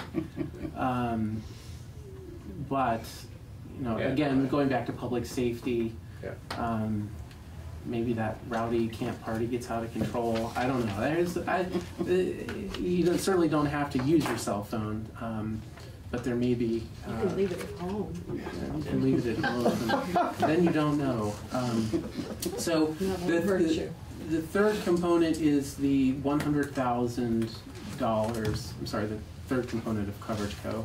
is the one hundred thousand dollars um, that uh, we can deploy to help towns. We've issued um, another RFP for a consultant that we would make available to towns. Um, if we do not get results that we like from that, we'll just move to a grant system where we provide a grant directly to towns um, so they can hire a consultant of their choice. But uh, we thought it'd be helpful to towns to have um, a person that they can reach out to immediately. So once we have that on board, we'll um, we'll provide notice to the towns with the help of regional planning commissions. And refresh my memory, what will that consultant be helping the towns with? Uh, that consultant would be assisting the towns with uh, ways that they could use this equipment to either create their own system um, or um, decide where, if we have a network operator in place, decide where they should be putting systems um, to get the, uh, the most benefit from them. And I see we have Becky us. So last issue is readiness to complete, I, I'm sorry, are you done with I, I, coverage? Bill? I'm done, yes. Okay. Uh, readiness to complete the twenty twenty telecom plan. So we're currently assessing our readiness to complete the plan. I think we're in a much better position today to have that plan delivered by December one Of- um, of twenty twenty. Okay, Um, so the legislation has changed the requirements of what should be in the telecom plan, um, which would, uh, at the very least necessitate a comprehensive overhaul of what we already have, essentially a new plan. The legislation also changed the way public comments are handled, as well as uh, sets um, a finite number of hearings. So the plan's due December one, working back from there, it's a, it's a pretty aggressive schedule. Um, we would have to conduct the hearings, um, in October and, uh, November, so having a final draft before then, um, and a public comments draft probably at least two months before that, so gives us the winter and, um, half the summer to, um, issue the public comments draft of the plan. okay. We, I believe in the legislation, you were uh, asked to come to the legislature by a date certain uh, to advise us if for any reason you did not feel that you would be able to comply with producing the plan uh, in, on time. And, and I, I think one of the purposes we had for including it this, uh, with, in, in this agenda today is to just get a sense from you whether you felt uh, that you were comfortable in being able to produce it without having to come back to us for, for, for anything additional next year. Is that how you feel right now? Well, we're certainly assessing our ability. One thing we're doing is uh, uh, we've issued um, a request for information to see if an outside consultant should write this plan. Um, so gauge what the cost is, what that would look like, um, whether that's an avenue to explore. So I would say we're exploring our um, uh, our, our different uh, options for meeting that deadline. The legislation, I believe, asks us to um, come to the legislature with sufficient time for the legislature to act, um, which would necessarily be this session. Uh, particularly Yeah. on, on financial resources is my memory. And the RFI is intended to give us a price tag for what it would take to have an outside consultant um, prepare the plan, because it is a, a resource issue. But our thinking today is very much intent on how do we succeed with this mission. And so if it comes back that this is an affordable um, thing to do, to have somebody um, come back, come and do the plan, that would be great. Uh, I may be writing to you then to ask for the money for that, because as others are aware on the committee, the department has been under severe financial pressure, and this is an unfunded mandate. We are also trying to aim for success without that, and that was the schedule that Clay gave us. Uh, To be perfectly candid, there are many things competing for the department's attention, particularly the telecom divisions, and so that's a, a careful juggling thing, but certainly, uh, meeting the assigned deadline is the intent of the department, however we can get there. With all these pressures, uh, this, this, it seems like it's such a, um, critical area, but the body of expertise to put together a plan like this. My question is, would it actually be to the state's benefit to have that external horsepower, so to speak, in the plan development? Or versus just Well, an in-house The, the um, way I project? tried to approach this, is this, the product that we delivered last time around was a product of our in-house resources. Um, I have received the message that it was not satisfactory to the legislature, and so our thinking was then we need to go to a new approach, which would be to see what an external resource might tell us we should be doing or proposed by way of plan, coupled with the new requirements in the statute. So that's, that's our thinking. We're, we want to get a plan done that is acceptable to the legislature and that is useful to um, the folks who would turn to this plan for their guidance in doing any number of activities in the state. Um, I will say that uh, I'm proud of the work we've done, but I understand that others see it differently. Okay, do we have any other questions? Great. Thank you so much. Thank you very much.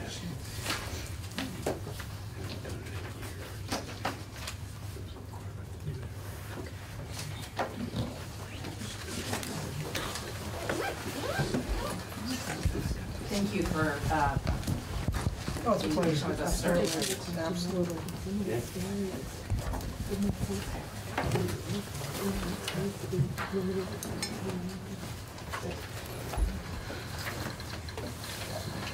Hello. So the remaining time that we have, uh, wanted to pick up on the conversation that we started um, at the last meeting. Um, Items, recommendations that would be coming out of this committee, potential recommendations for legislation, potential um, proposed legislation. Um, And so Becky, maybe the thing to start with for the committee um, are just going over, um, making sure we're all clear, um, what we have so far identified as issues we want to focus on. Sure, and I have this Yeah. list to hand out if that's Yes. helpful. Yep. This is very high level. It's,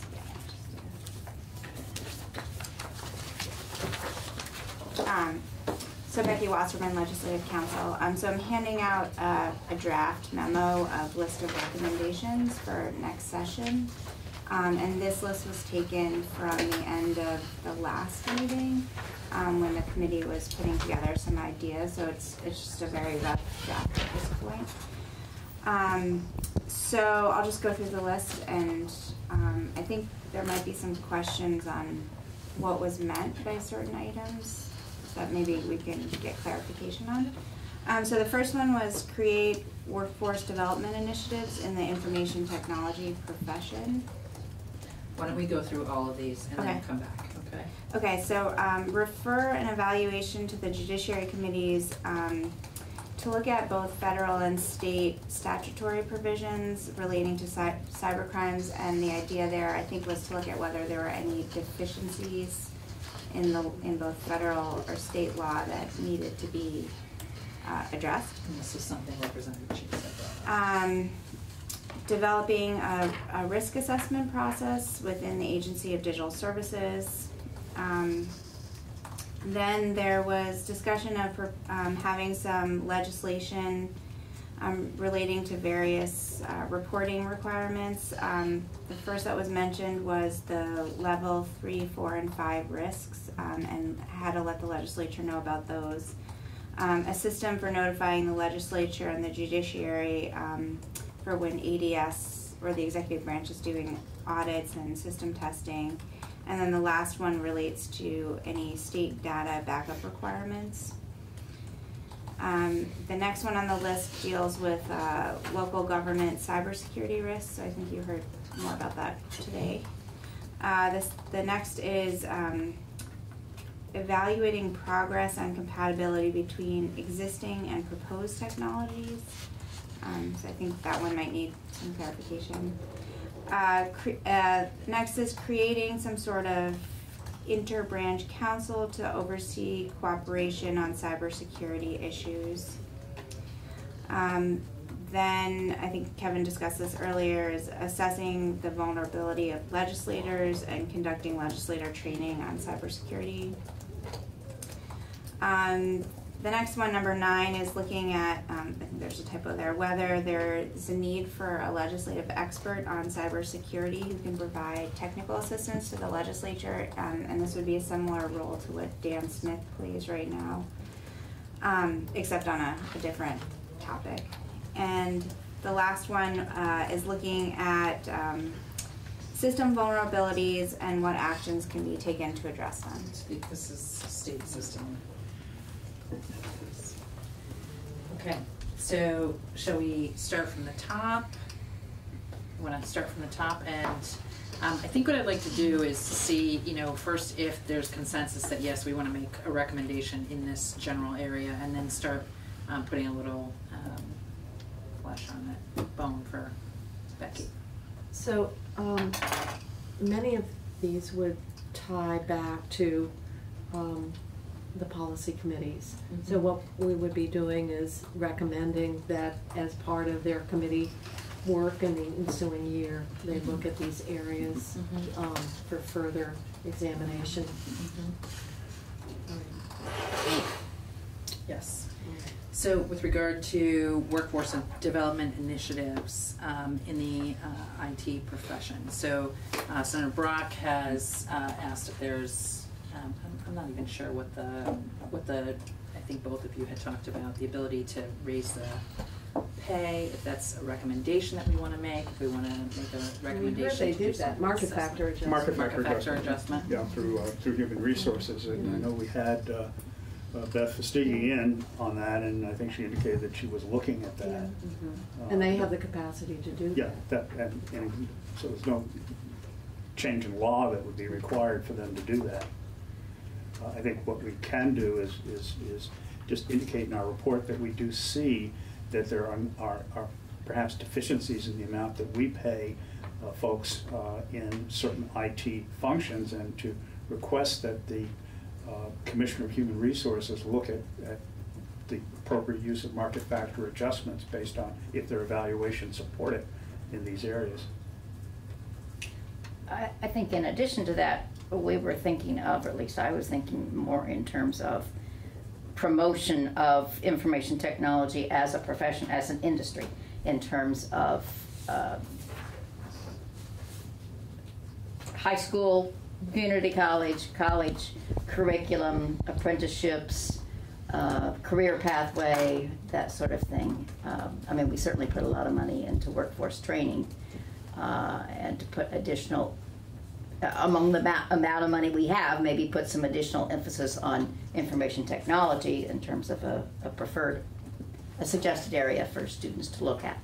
So not just salary uh, information, but just promotion How you of recruit. recruiting and, and encouraging young people to go into that. Well, I know certainly in some of our economic development programs, as we're looking at everything from internships to Mhm. uh, supporting uh, education, Right. there are particular professions that either the den- or occupations that represent need that we've talked about in legislation, such as Right. nursing and Right. healthcare Just about professions, uh, everything. construction, and Mhm. so on, Mhm. is to ensure that information uh, technology and Is part of it. information security are in- included in that, and and just referral to the uh, appropriate committees on economic development to consider that. Right. So this would be economic development, um, would it also be education or no? Well, um, actually, in the economic development bill for a couple of years ago, they, we put a position into the Department of Education for the tech, because so much of it was really Did it get related to the tech center. Well, and then he left. Uh, but the position is, I don't know, I can't, re- I'm not sure what's happening in Department of Ed, or Mhm. Agency of Ed at this point. But I, I think, um, we could, um, it, it, it was very much a part of an economic development bill in terms of the workforce piece, so I think, um, we should, that would be a recommendation Mhm. back, uh, to the, the other thing that comes up is that under the federal programs, you've got this workforce investment board, it's got, you know, I mean, the board's so big, you need an auditorium to house it, it's over Mhm. sixty people, I think. But to me, this is the kind of, of, um, discussion that that group should be having because it brings in the educators, it brings in the employers and so forth. So maybe we could, um, um, tie this into some kind of recommendation to economic development and, um, how they could identify, um, those structures that are there that can help evaluate and put together some kind of plan, So this is commerce. commerce. This is commerce. Yeah. Um, however, uh, with the, uh, Beth Fastiggi, Mhm. so making that recommendation, is that, that's, is that a legislative, that's not a legislative? Uh, Well, Is it- GovOps. GovOps, it would be Yeah. GovOps because it's state employees. Okay. Mhm, GovOps. Okay. Uh, Becky, do you have questions? Do you have a sense of what the committee is looking for there? Yeah, Okay. I do. And back to the workforce thing for just a minute, that the, uh, are we just sort of encouraging commerce or economic development to, to ask these questions and poke around? And, I, I mean, I, I guess I'm not clear what we're, I think what we're doing Say. perhaps is just emphasizing uh, to them, uh, our, our perspective that there represents a need uh, for additional resources uh, in, uh, in information technology and information security in particular uh, as part of of, uh, a critical need in our workforce. And encouraging them didn't. to perhaps explore this further. And I don't think we, Okay. we should go further okay. than that. So, and I think the frame here is really state, I mean, it's our state systems. So we're having a hard time keeping our high-level state security, right? Well, I think this is larger than just that. state. I think this is a statewide problem, and I think it affects both the private sector as Private. well as the government Very much. sector in Sure. terms of a, a critical uh, employment need. in terms of the state need, that's where the fee, the, the, the salary structure Mhm. is acute. Yeah. Okay, that's, I, I just wanted to understand that. But there's a- just a critical need for people with that skill set throughout Vermont. Yeah. And from an economic development standpoint, some of our emphasis in, uh, in, in what we do would be recruitment, training, workforce development. Uh, We we recommend that more emphasis be placed in this area. Okay. Good? Next, okay. Um, Seth, this is, this was, uh, and you were joining us uh, over the phone, so I'm not sure that we got this correct, but uh, this evaluation to the judiciary committees to review uh, federal and state statutory provisions on cyber crimes to determine if there are any deficiencies. I like to just check if I understood what you were talking about. So, I mean, I I think what you were saying was, does it translate to, um, you know, theft as a cyber crime versus I walk in your front door and steal something? We need to modernize our statutes? Is that what you're saying, to uh, Yeah. reflect um, um, cyber crimes and that maybe, um, that- well, sometimes our statutes are outdated for today's environment, and uh, do they adequately address um, um, the growing rate of cyber uh, crimes? Right, um, and, you know, it, it, the, the location of a crime. Oh, across states, you were talking Yeah. about jurisdictional issues. Right. Yeah. Uh, a- as well as, um, you know, it- it- weighing it similarly whether it occurs online versus in person kind of thing. So, so I did, I did speak to, um, the attorneys on our judiciary team, and, I mean, we do have a chapter on, on what we call computer crimes that I think address some of, might address some of what you're thinking of. Um, and then their take on it was, was sort of if, if it- the elements of a crime are met, then it doesn't, I, I don't know that there's necessarily a distinction between. The method of it. In or- person or- Right, Whether- so. I- Whether it's a computer um, or a gun. So I think it might need, it, it might be helpful to, I guess, be more focused on what we would be referring to the judiciary committee. I mean, if it's a review of the computer crimes chapter to see if that is sufficient, you know, if, if there's anything lacking in that chapter right now. One of the common themes across all states is, um, kind of a rubber band effect, like uh, technology advances, and then five or ten years later, the laws catch up with it. Um, so trying to structure these things in such a way that it's not tied to any particular technology or method of communication or whatever. Um, yeah. I guess I, since you have a clear picture in your mind of what you're talking about, would it make sense, would you be able to talk to Ledge Council who has the knowledge on this and see if there's Yeah. gaps that stand out? Because it seems totally plausible to me that there are, but, but I don't know. Uh, The other uh, question I have, does the Attorney General's office, the, um, and we- as we're talking about cyber cri- uh, crimes, um, I would think they would also could be very helpful to see if in fact there is um, a need to modernize or revise um, some of the statutes in this area as well. Seems like it, that's a logical place to explore, because it seems like some of that would get into um, actual situations that they Encounter, encounter. Is, so is that something you're willing to follow up with Becky on? Becky, do you feel like you have enough information Mhm. to, okay. Great. Okay. So next we have developing a risk assessment process within the Agency of Digital Services. That assumes we don't have one, is that correct?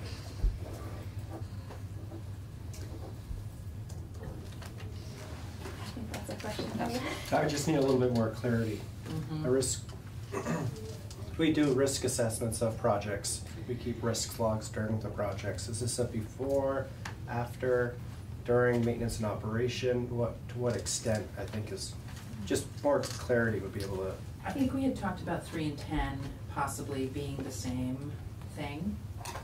Or referencing the same Oh. assessing system Okay. vulnerabilities and what actions, so I, please correct me if I'm wrong, I feel like this, these two items came out of a uh, desire for us to have a prioritization of where the, where, where risk was, and to, for the legislature to understand prioritization of where risk was in the systems.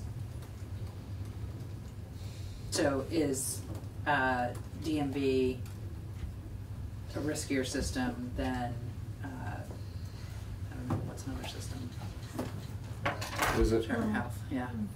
I wish I Is brought it- the NCSL Right, uh, it was that- guide that for guide. what legislators should be paying, um, you know, questions that we should be asking. And it may not be, a- and many of them would probably fall to the policy committees, but that might be something to just take a look at to make sure that, um, that we're, um, taking advantage of kind of that work in t- terms of what, um, how legislators should be thinking and responding and questions that we should ask and knowing what's in place. And I didn't. I Regarding got their it. systems? Yeah, NCSL's guide to legislators, I, you know, I'd, Right, I'd right, like, I'd like to go back to that and say, Yeah. let's see how we're doing in those areas, or did some recommendations flow from, uh, from that guide?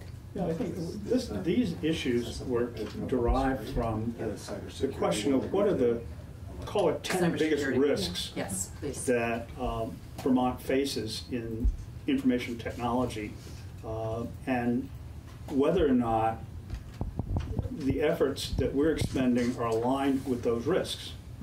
And I think that's really what we're trying to get a, get a sense of. Is there a process that really defines what are the biggest threats that we have?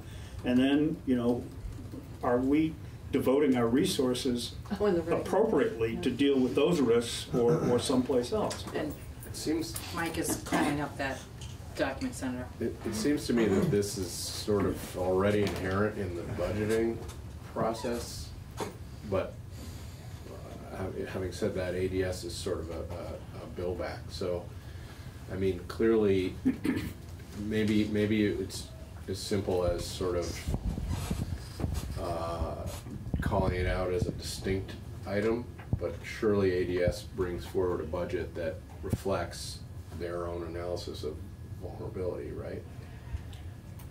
I'm not sure that it does. So, I'm not sure that it does at all. The all. thing that I have been No, I don't really think so. wanting to make sure is that we are not, I mean, this is such a huge issue, Mm-hmm. that we are, you know, being careful, but also fulfilling our oversight role, and then that we have enough knowledge to support appropriations requests, right?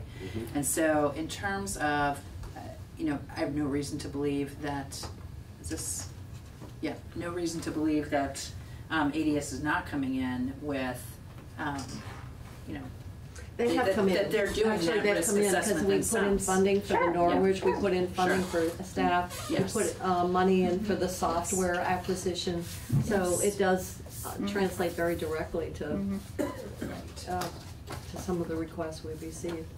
Well, item four on this list talks about creating, I'm not sure we need legislation to do so, but creating some kind of reporting mechanisms on what you call, we call level three, four, and five risks to, of, of various parts of state government. Isn't this tied in as well with what you're, we're talking with, system vulnerabilities and, Mhm. um, risk assessment?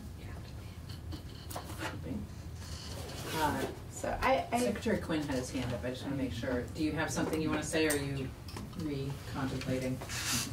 No, I I was just gonna say, you know, when we talk about risk, most of the risk that we incur or that's out there is due to lack of funding across, you know, the, the technical debt that we have, the, the age of our systems. This isn't something specific to the state of Vermont, this is something that all fifty states deal with. I just, uh, left a conference with my, you know, forty-nine other peers, and we spent hours talking about how do we, how do we fund IT going forward? Because so many of the agencies are in a billback model where we can never get ahead of the curve.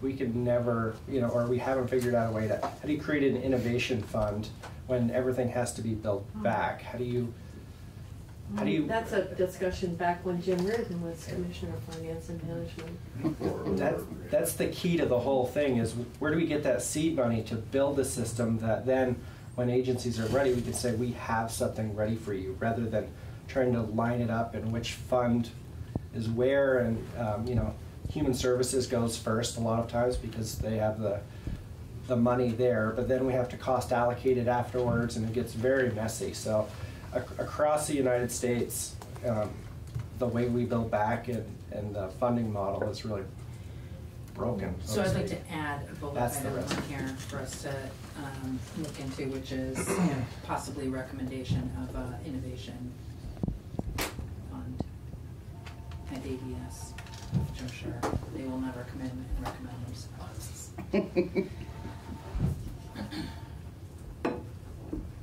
So let's get, getting back to risk assessment, do we feel, so,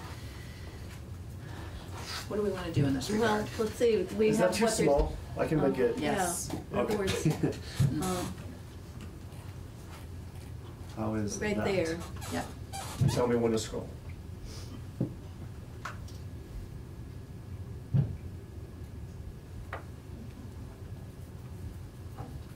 This, Yes.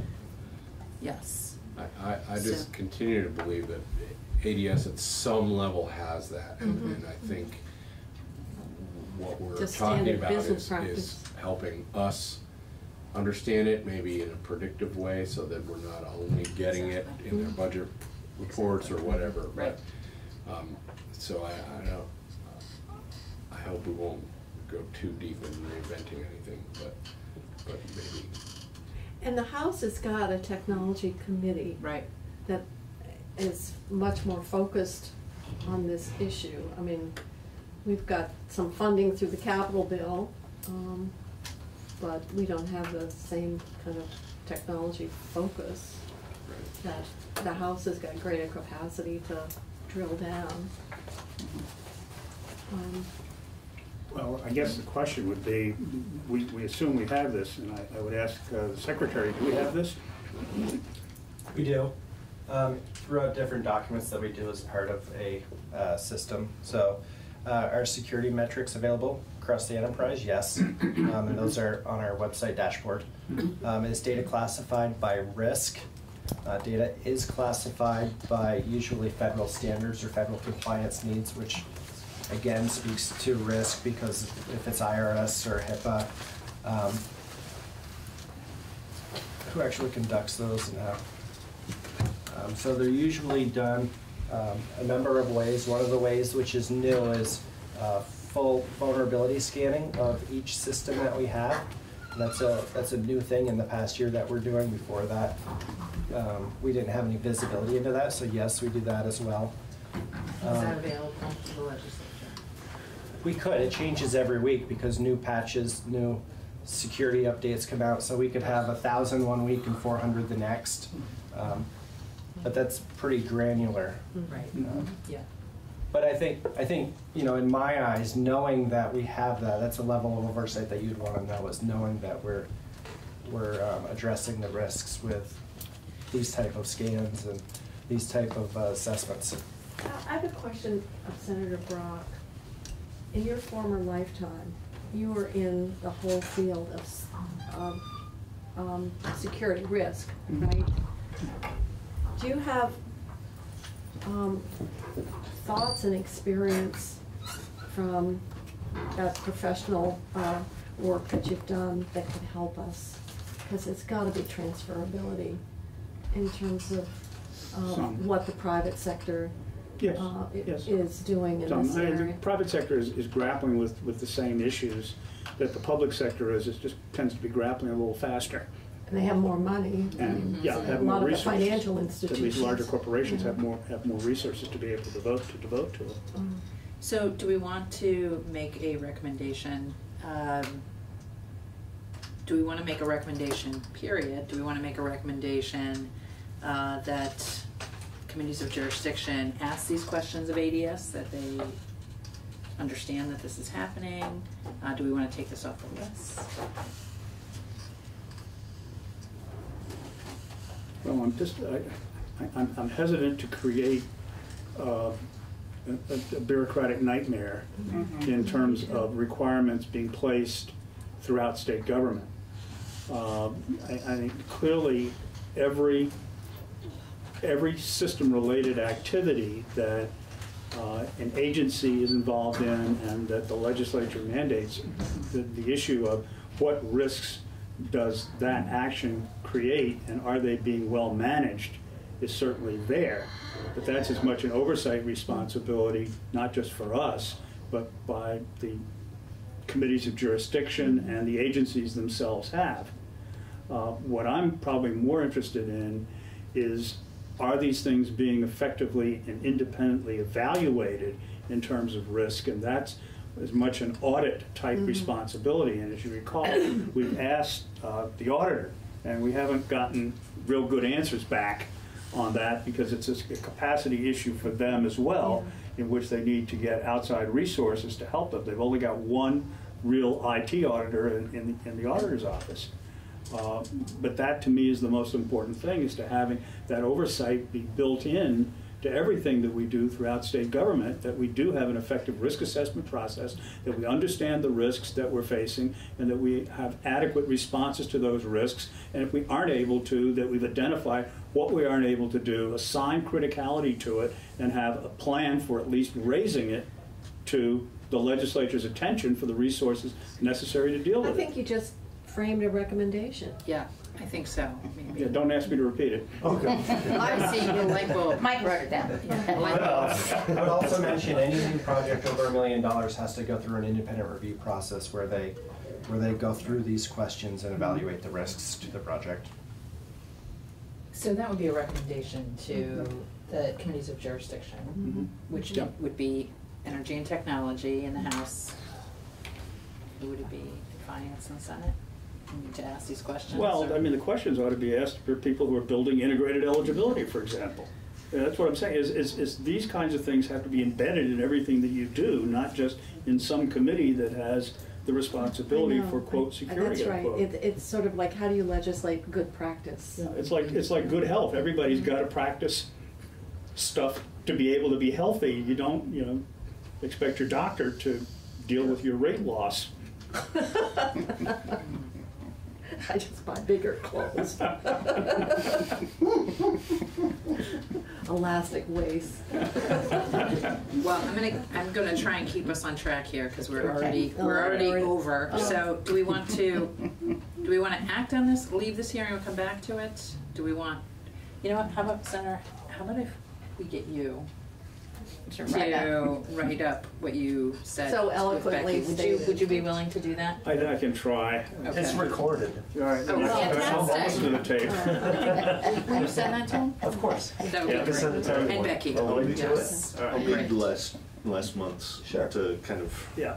reframe Yeah. what I was. Okay, so I'm gonna Okay. assume that's three and ten. Um,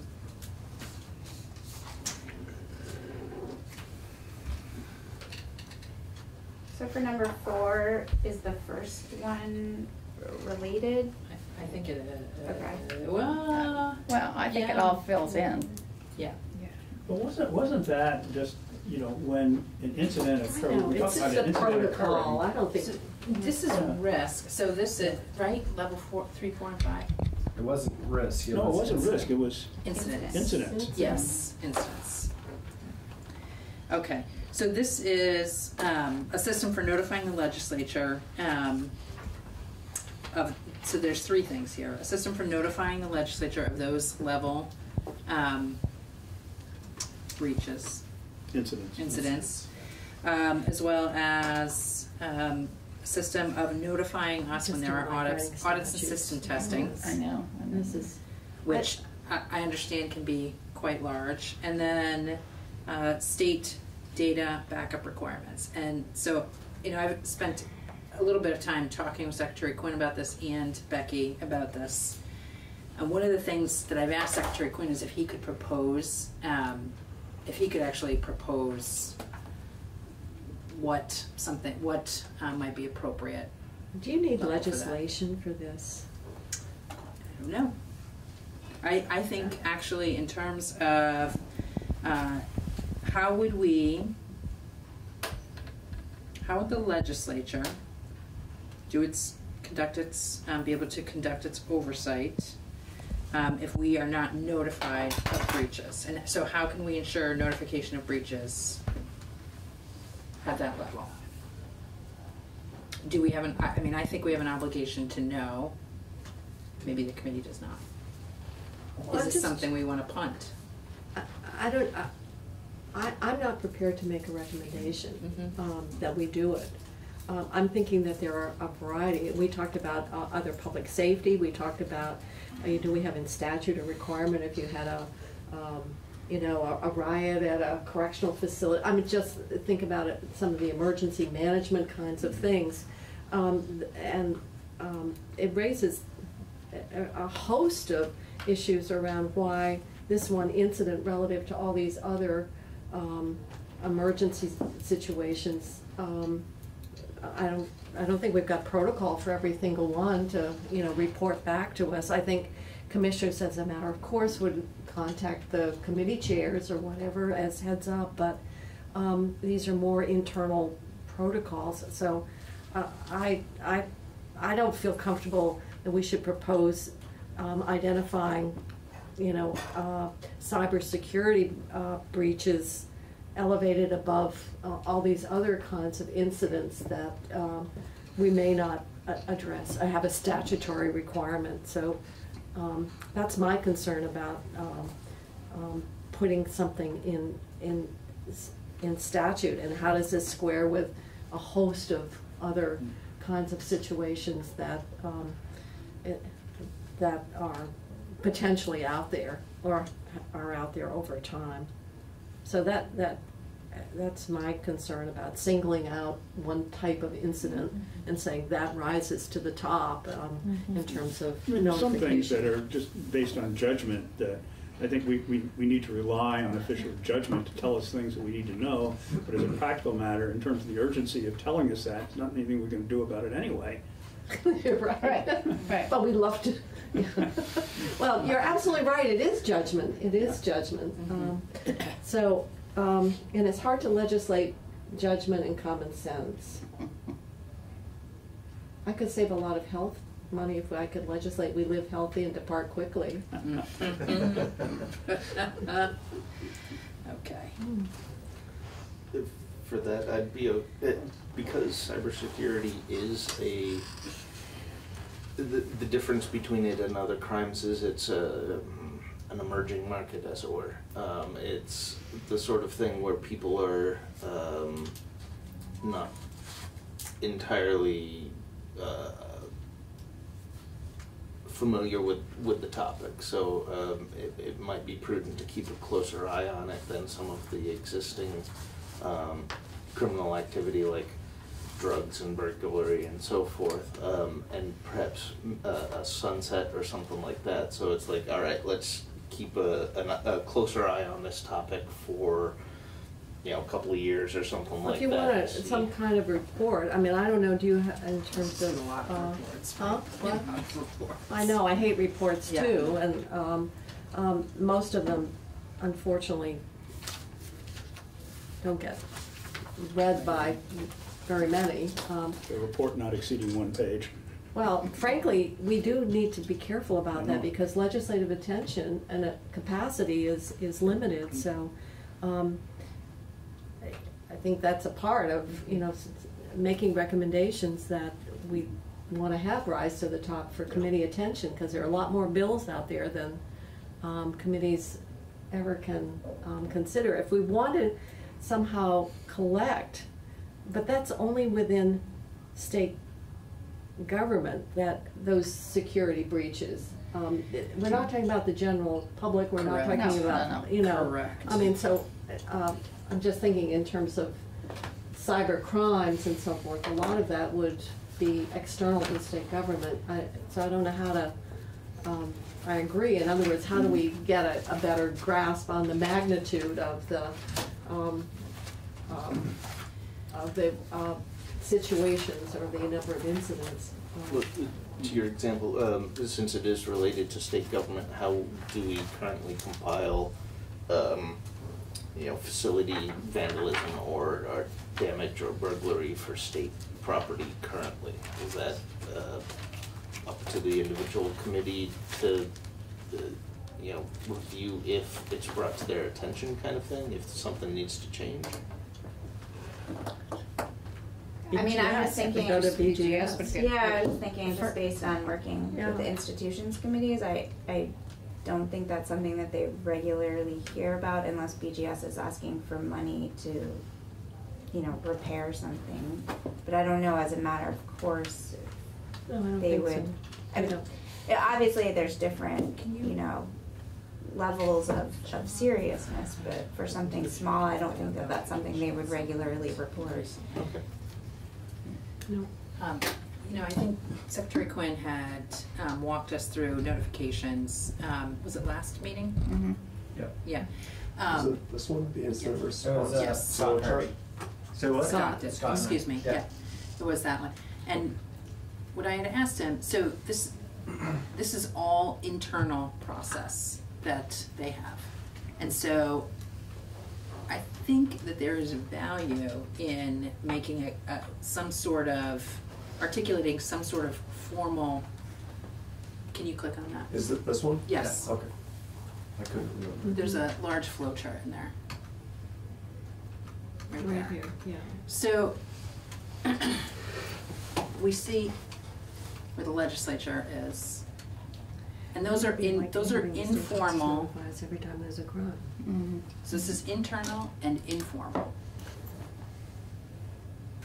And I don't think we need to be a part of all of that.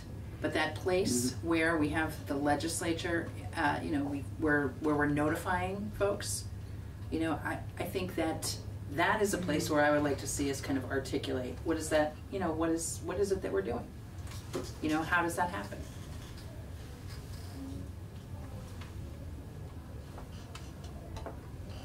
And my concern is really around oversight, making sure, so I think we've got a great partner in Secretary Quinn.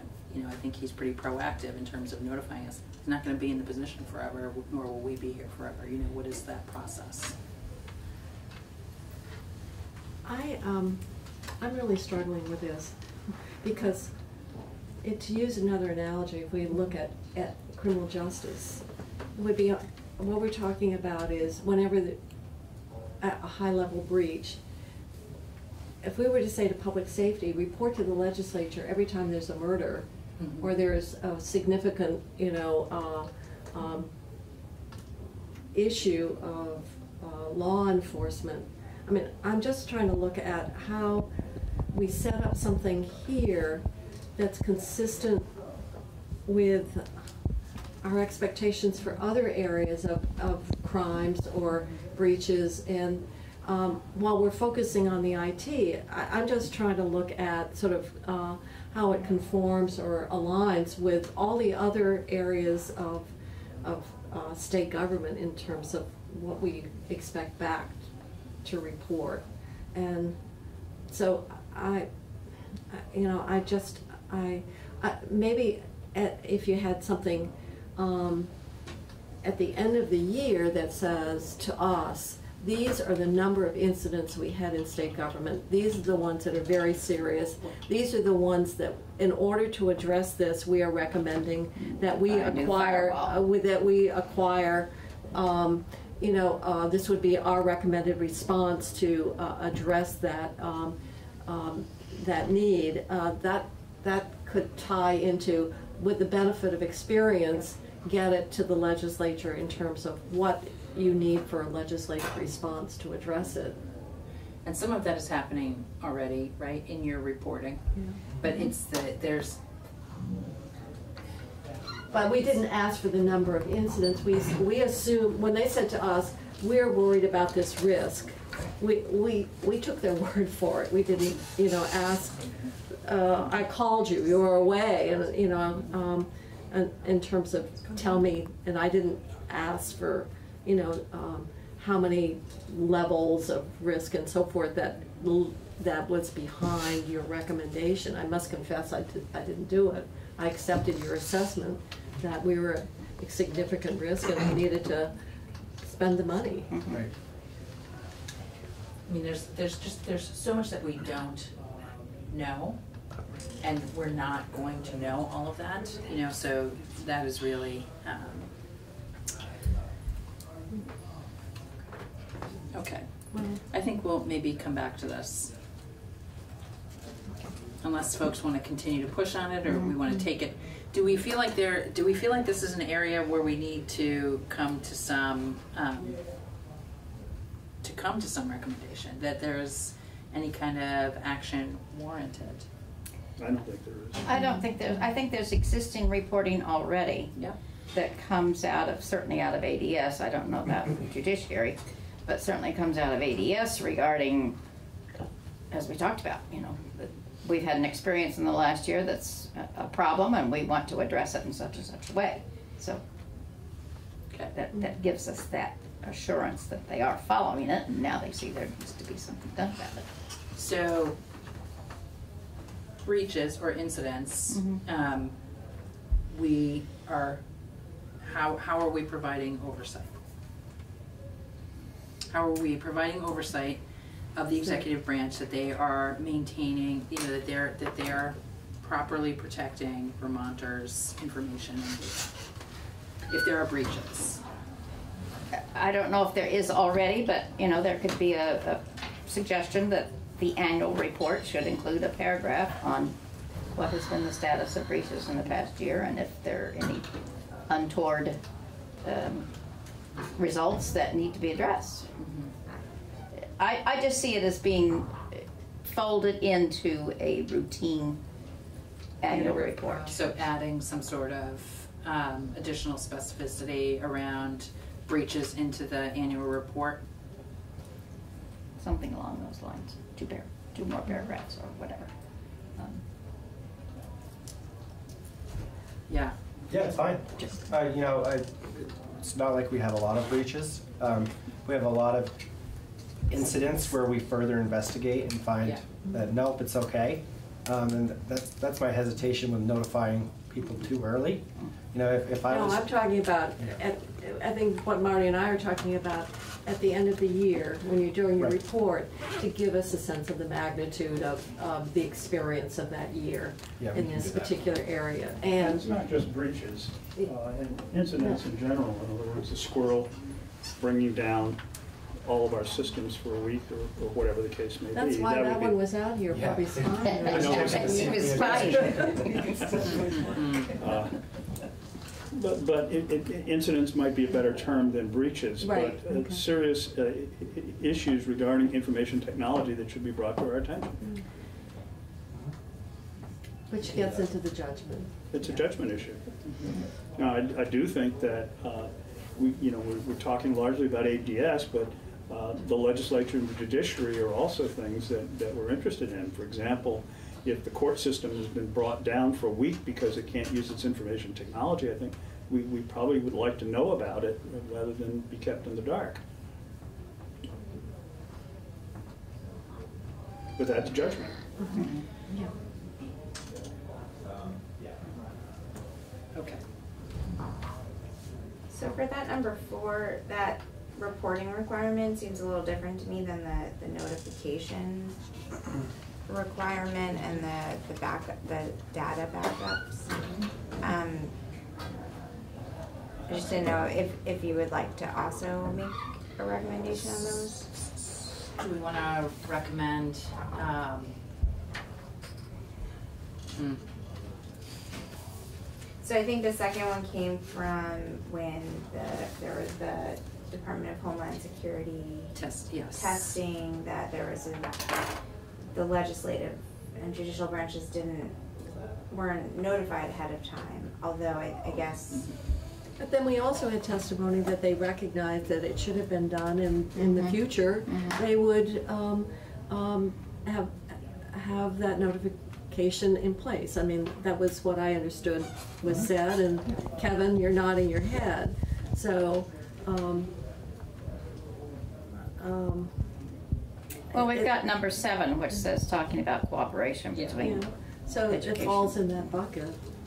Um, Yeah, we could legislate cooperation. Sure. Um, okay. let's Well, take you know, um, it do, it doesn't mean that, that, um, it has to translate into a, a, a bill. It could be just a recommendation that there, um, be protocols uh, established to uh, notify. Um, and then we can declare a victory because it's been done. There you go. Yeah, but it, uh, I'm just thinking that um, we it could be as simple as that. Okay, I think that's great. Uh, we had talked about um, maybe it was you, Senator, that had recommended, um, with, re- so state data backup requirements. Um, you know, John was asking, you know, that's all over the place. Um, and I think, was it you or was it Becky that had made this suggestion that, uh, maybe it was Becky? Um, I'll take credit. yeah, making sure all, uh, agencies develop backup requirements. It was you, Becky, I think it was you. Protocols. Do they already have it? I Yes, yes. So- Yeah, so the, the backup protocols wouldn't come from us necessarily. It's based on what the business needs, what the recovery point time is, what the recovery point, um, uh, you know, what they need to get back. So do we need to back up hourly? Do we need to back up daily? Do we need to back up weekly? All those have cost drivers. So each agency picks those based on the classification of the data and how sensitive the data is and what they need from the data. So we found in most cases that um, this is a cost driver for agencies. So, you know, we found very few systems um, across the 1,400 applications that we have that require something to be up all the time. What Right? does that mean? So, the so you think about you back up every 24 hours, Yeah. maybe. But in order to rebuild that system, you have that backup of 24 hours ago. How quickly does it need to come back up as well? Right? So if the system crashes and it goes down and it needs to be re- rebuilt, how quickly does that system need, need to be rebuilt? Is it an hour? Is it a week? Is it eight weeks? Um, it, it all depends on each system. So this is left up to the agencies with guidance from ADS on the criticality of the system, and that's how their backups are defined. So each agency has already given us input and decides whether we keep the backups for one week, two weeks, two months, two years, and that falls in line with their retention periods as well. Mm-hmm. Is there reporting done on that, No, the backups? no, we do thousands of backups.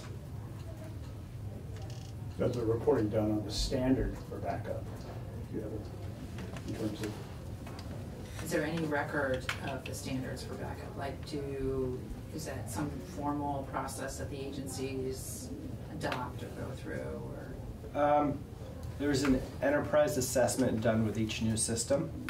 Um, and there's an SLA where we talk about the backups and what the uh, recovery times will be and what the, the the backup schedule would be, and that drives the cost.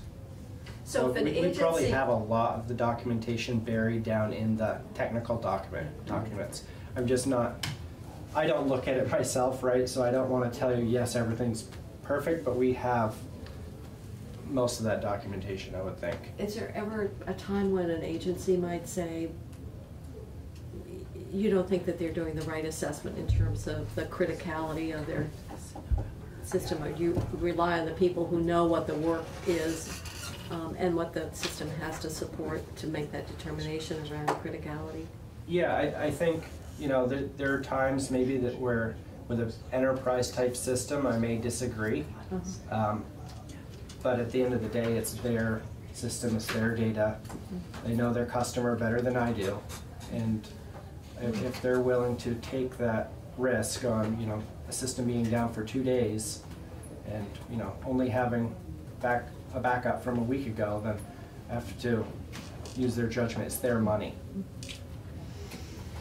Um, I, think we're gonna pause here, because we're thirty minutes over. Um, so, Becky, I would ask you to kind of flesh out a little bit, uh, on the ones that we were able to, okay. to work on.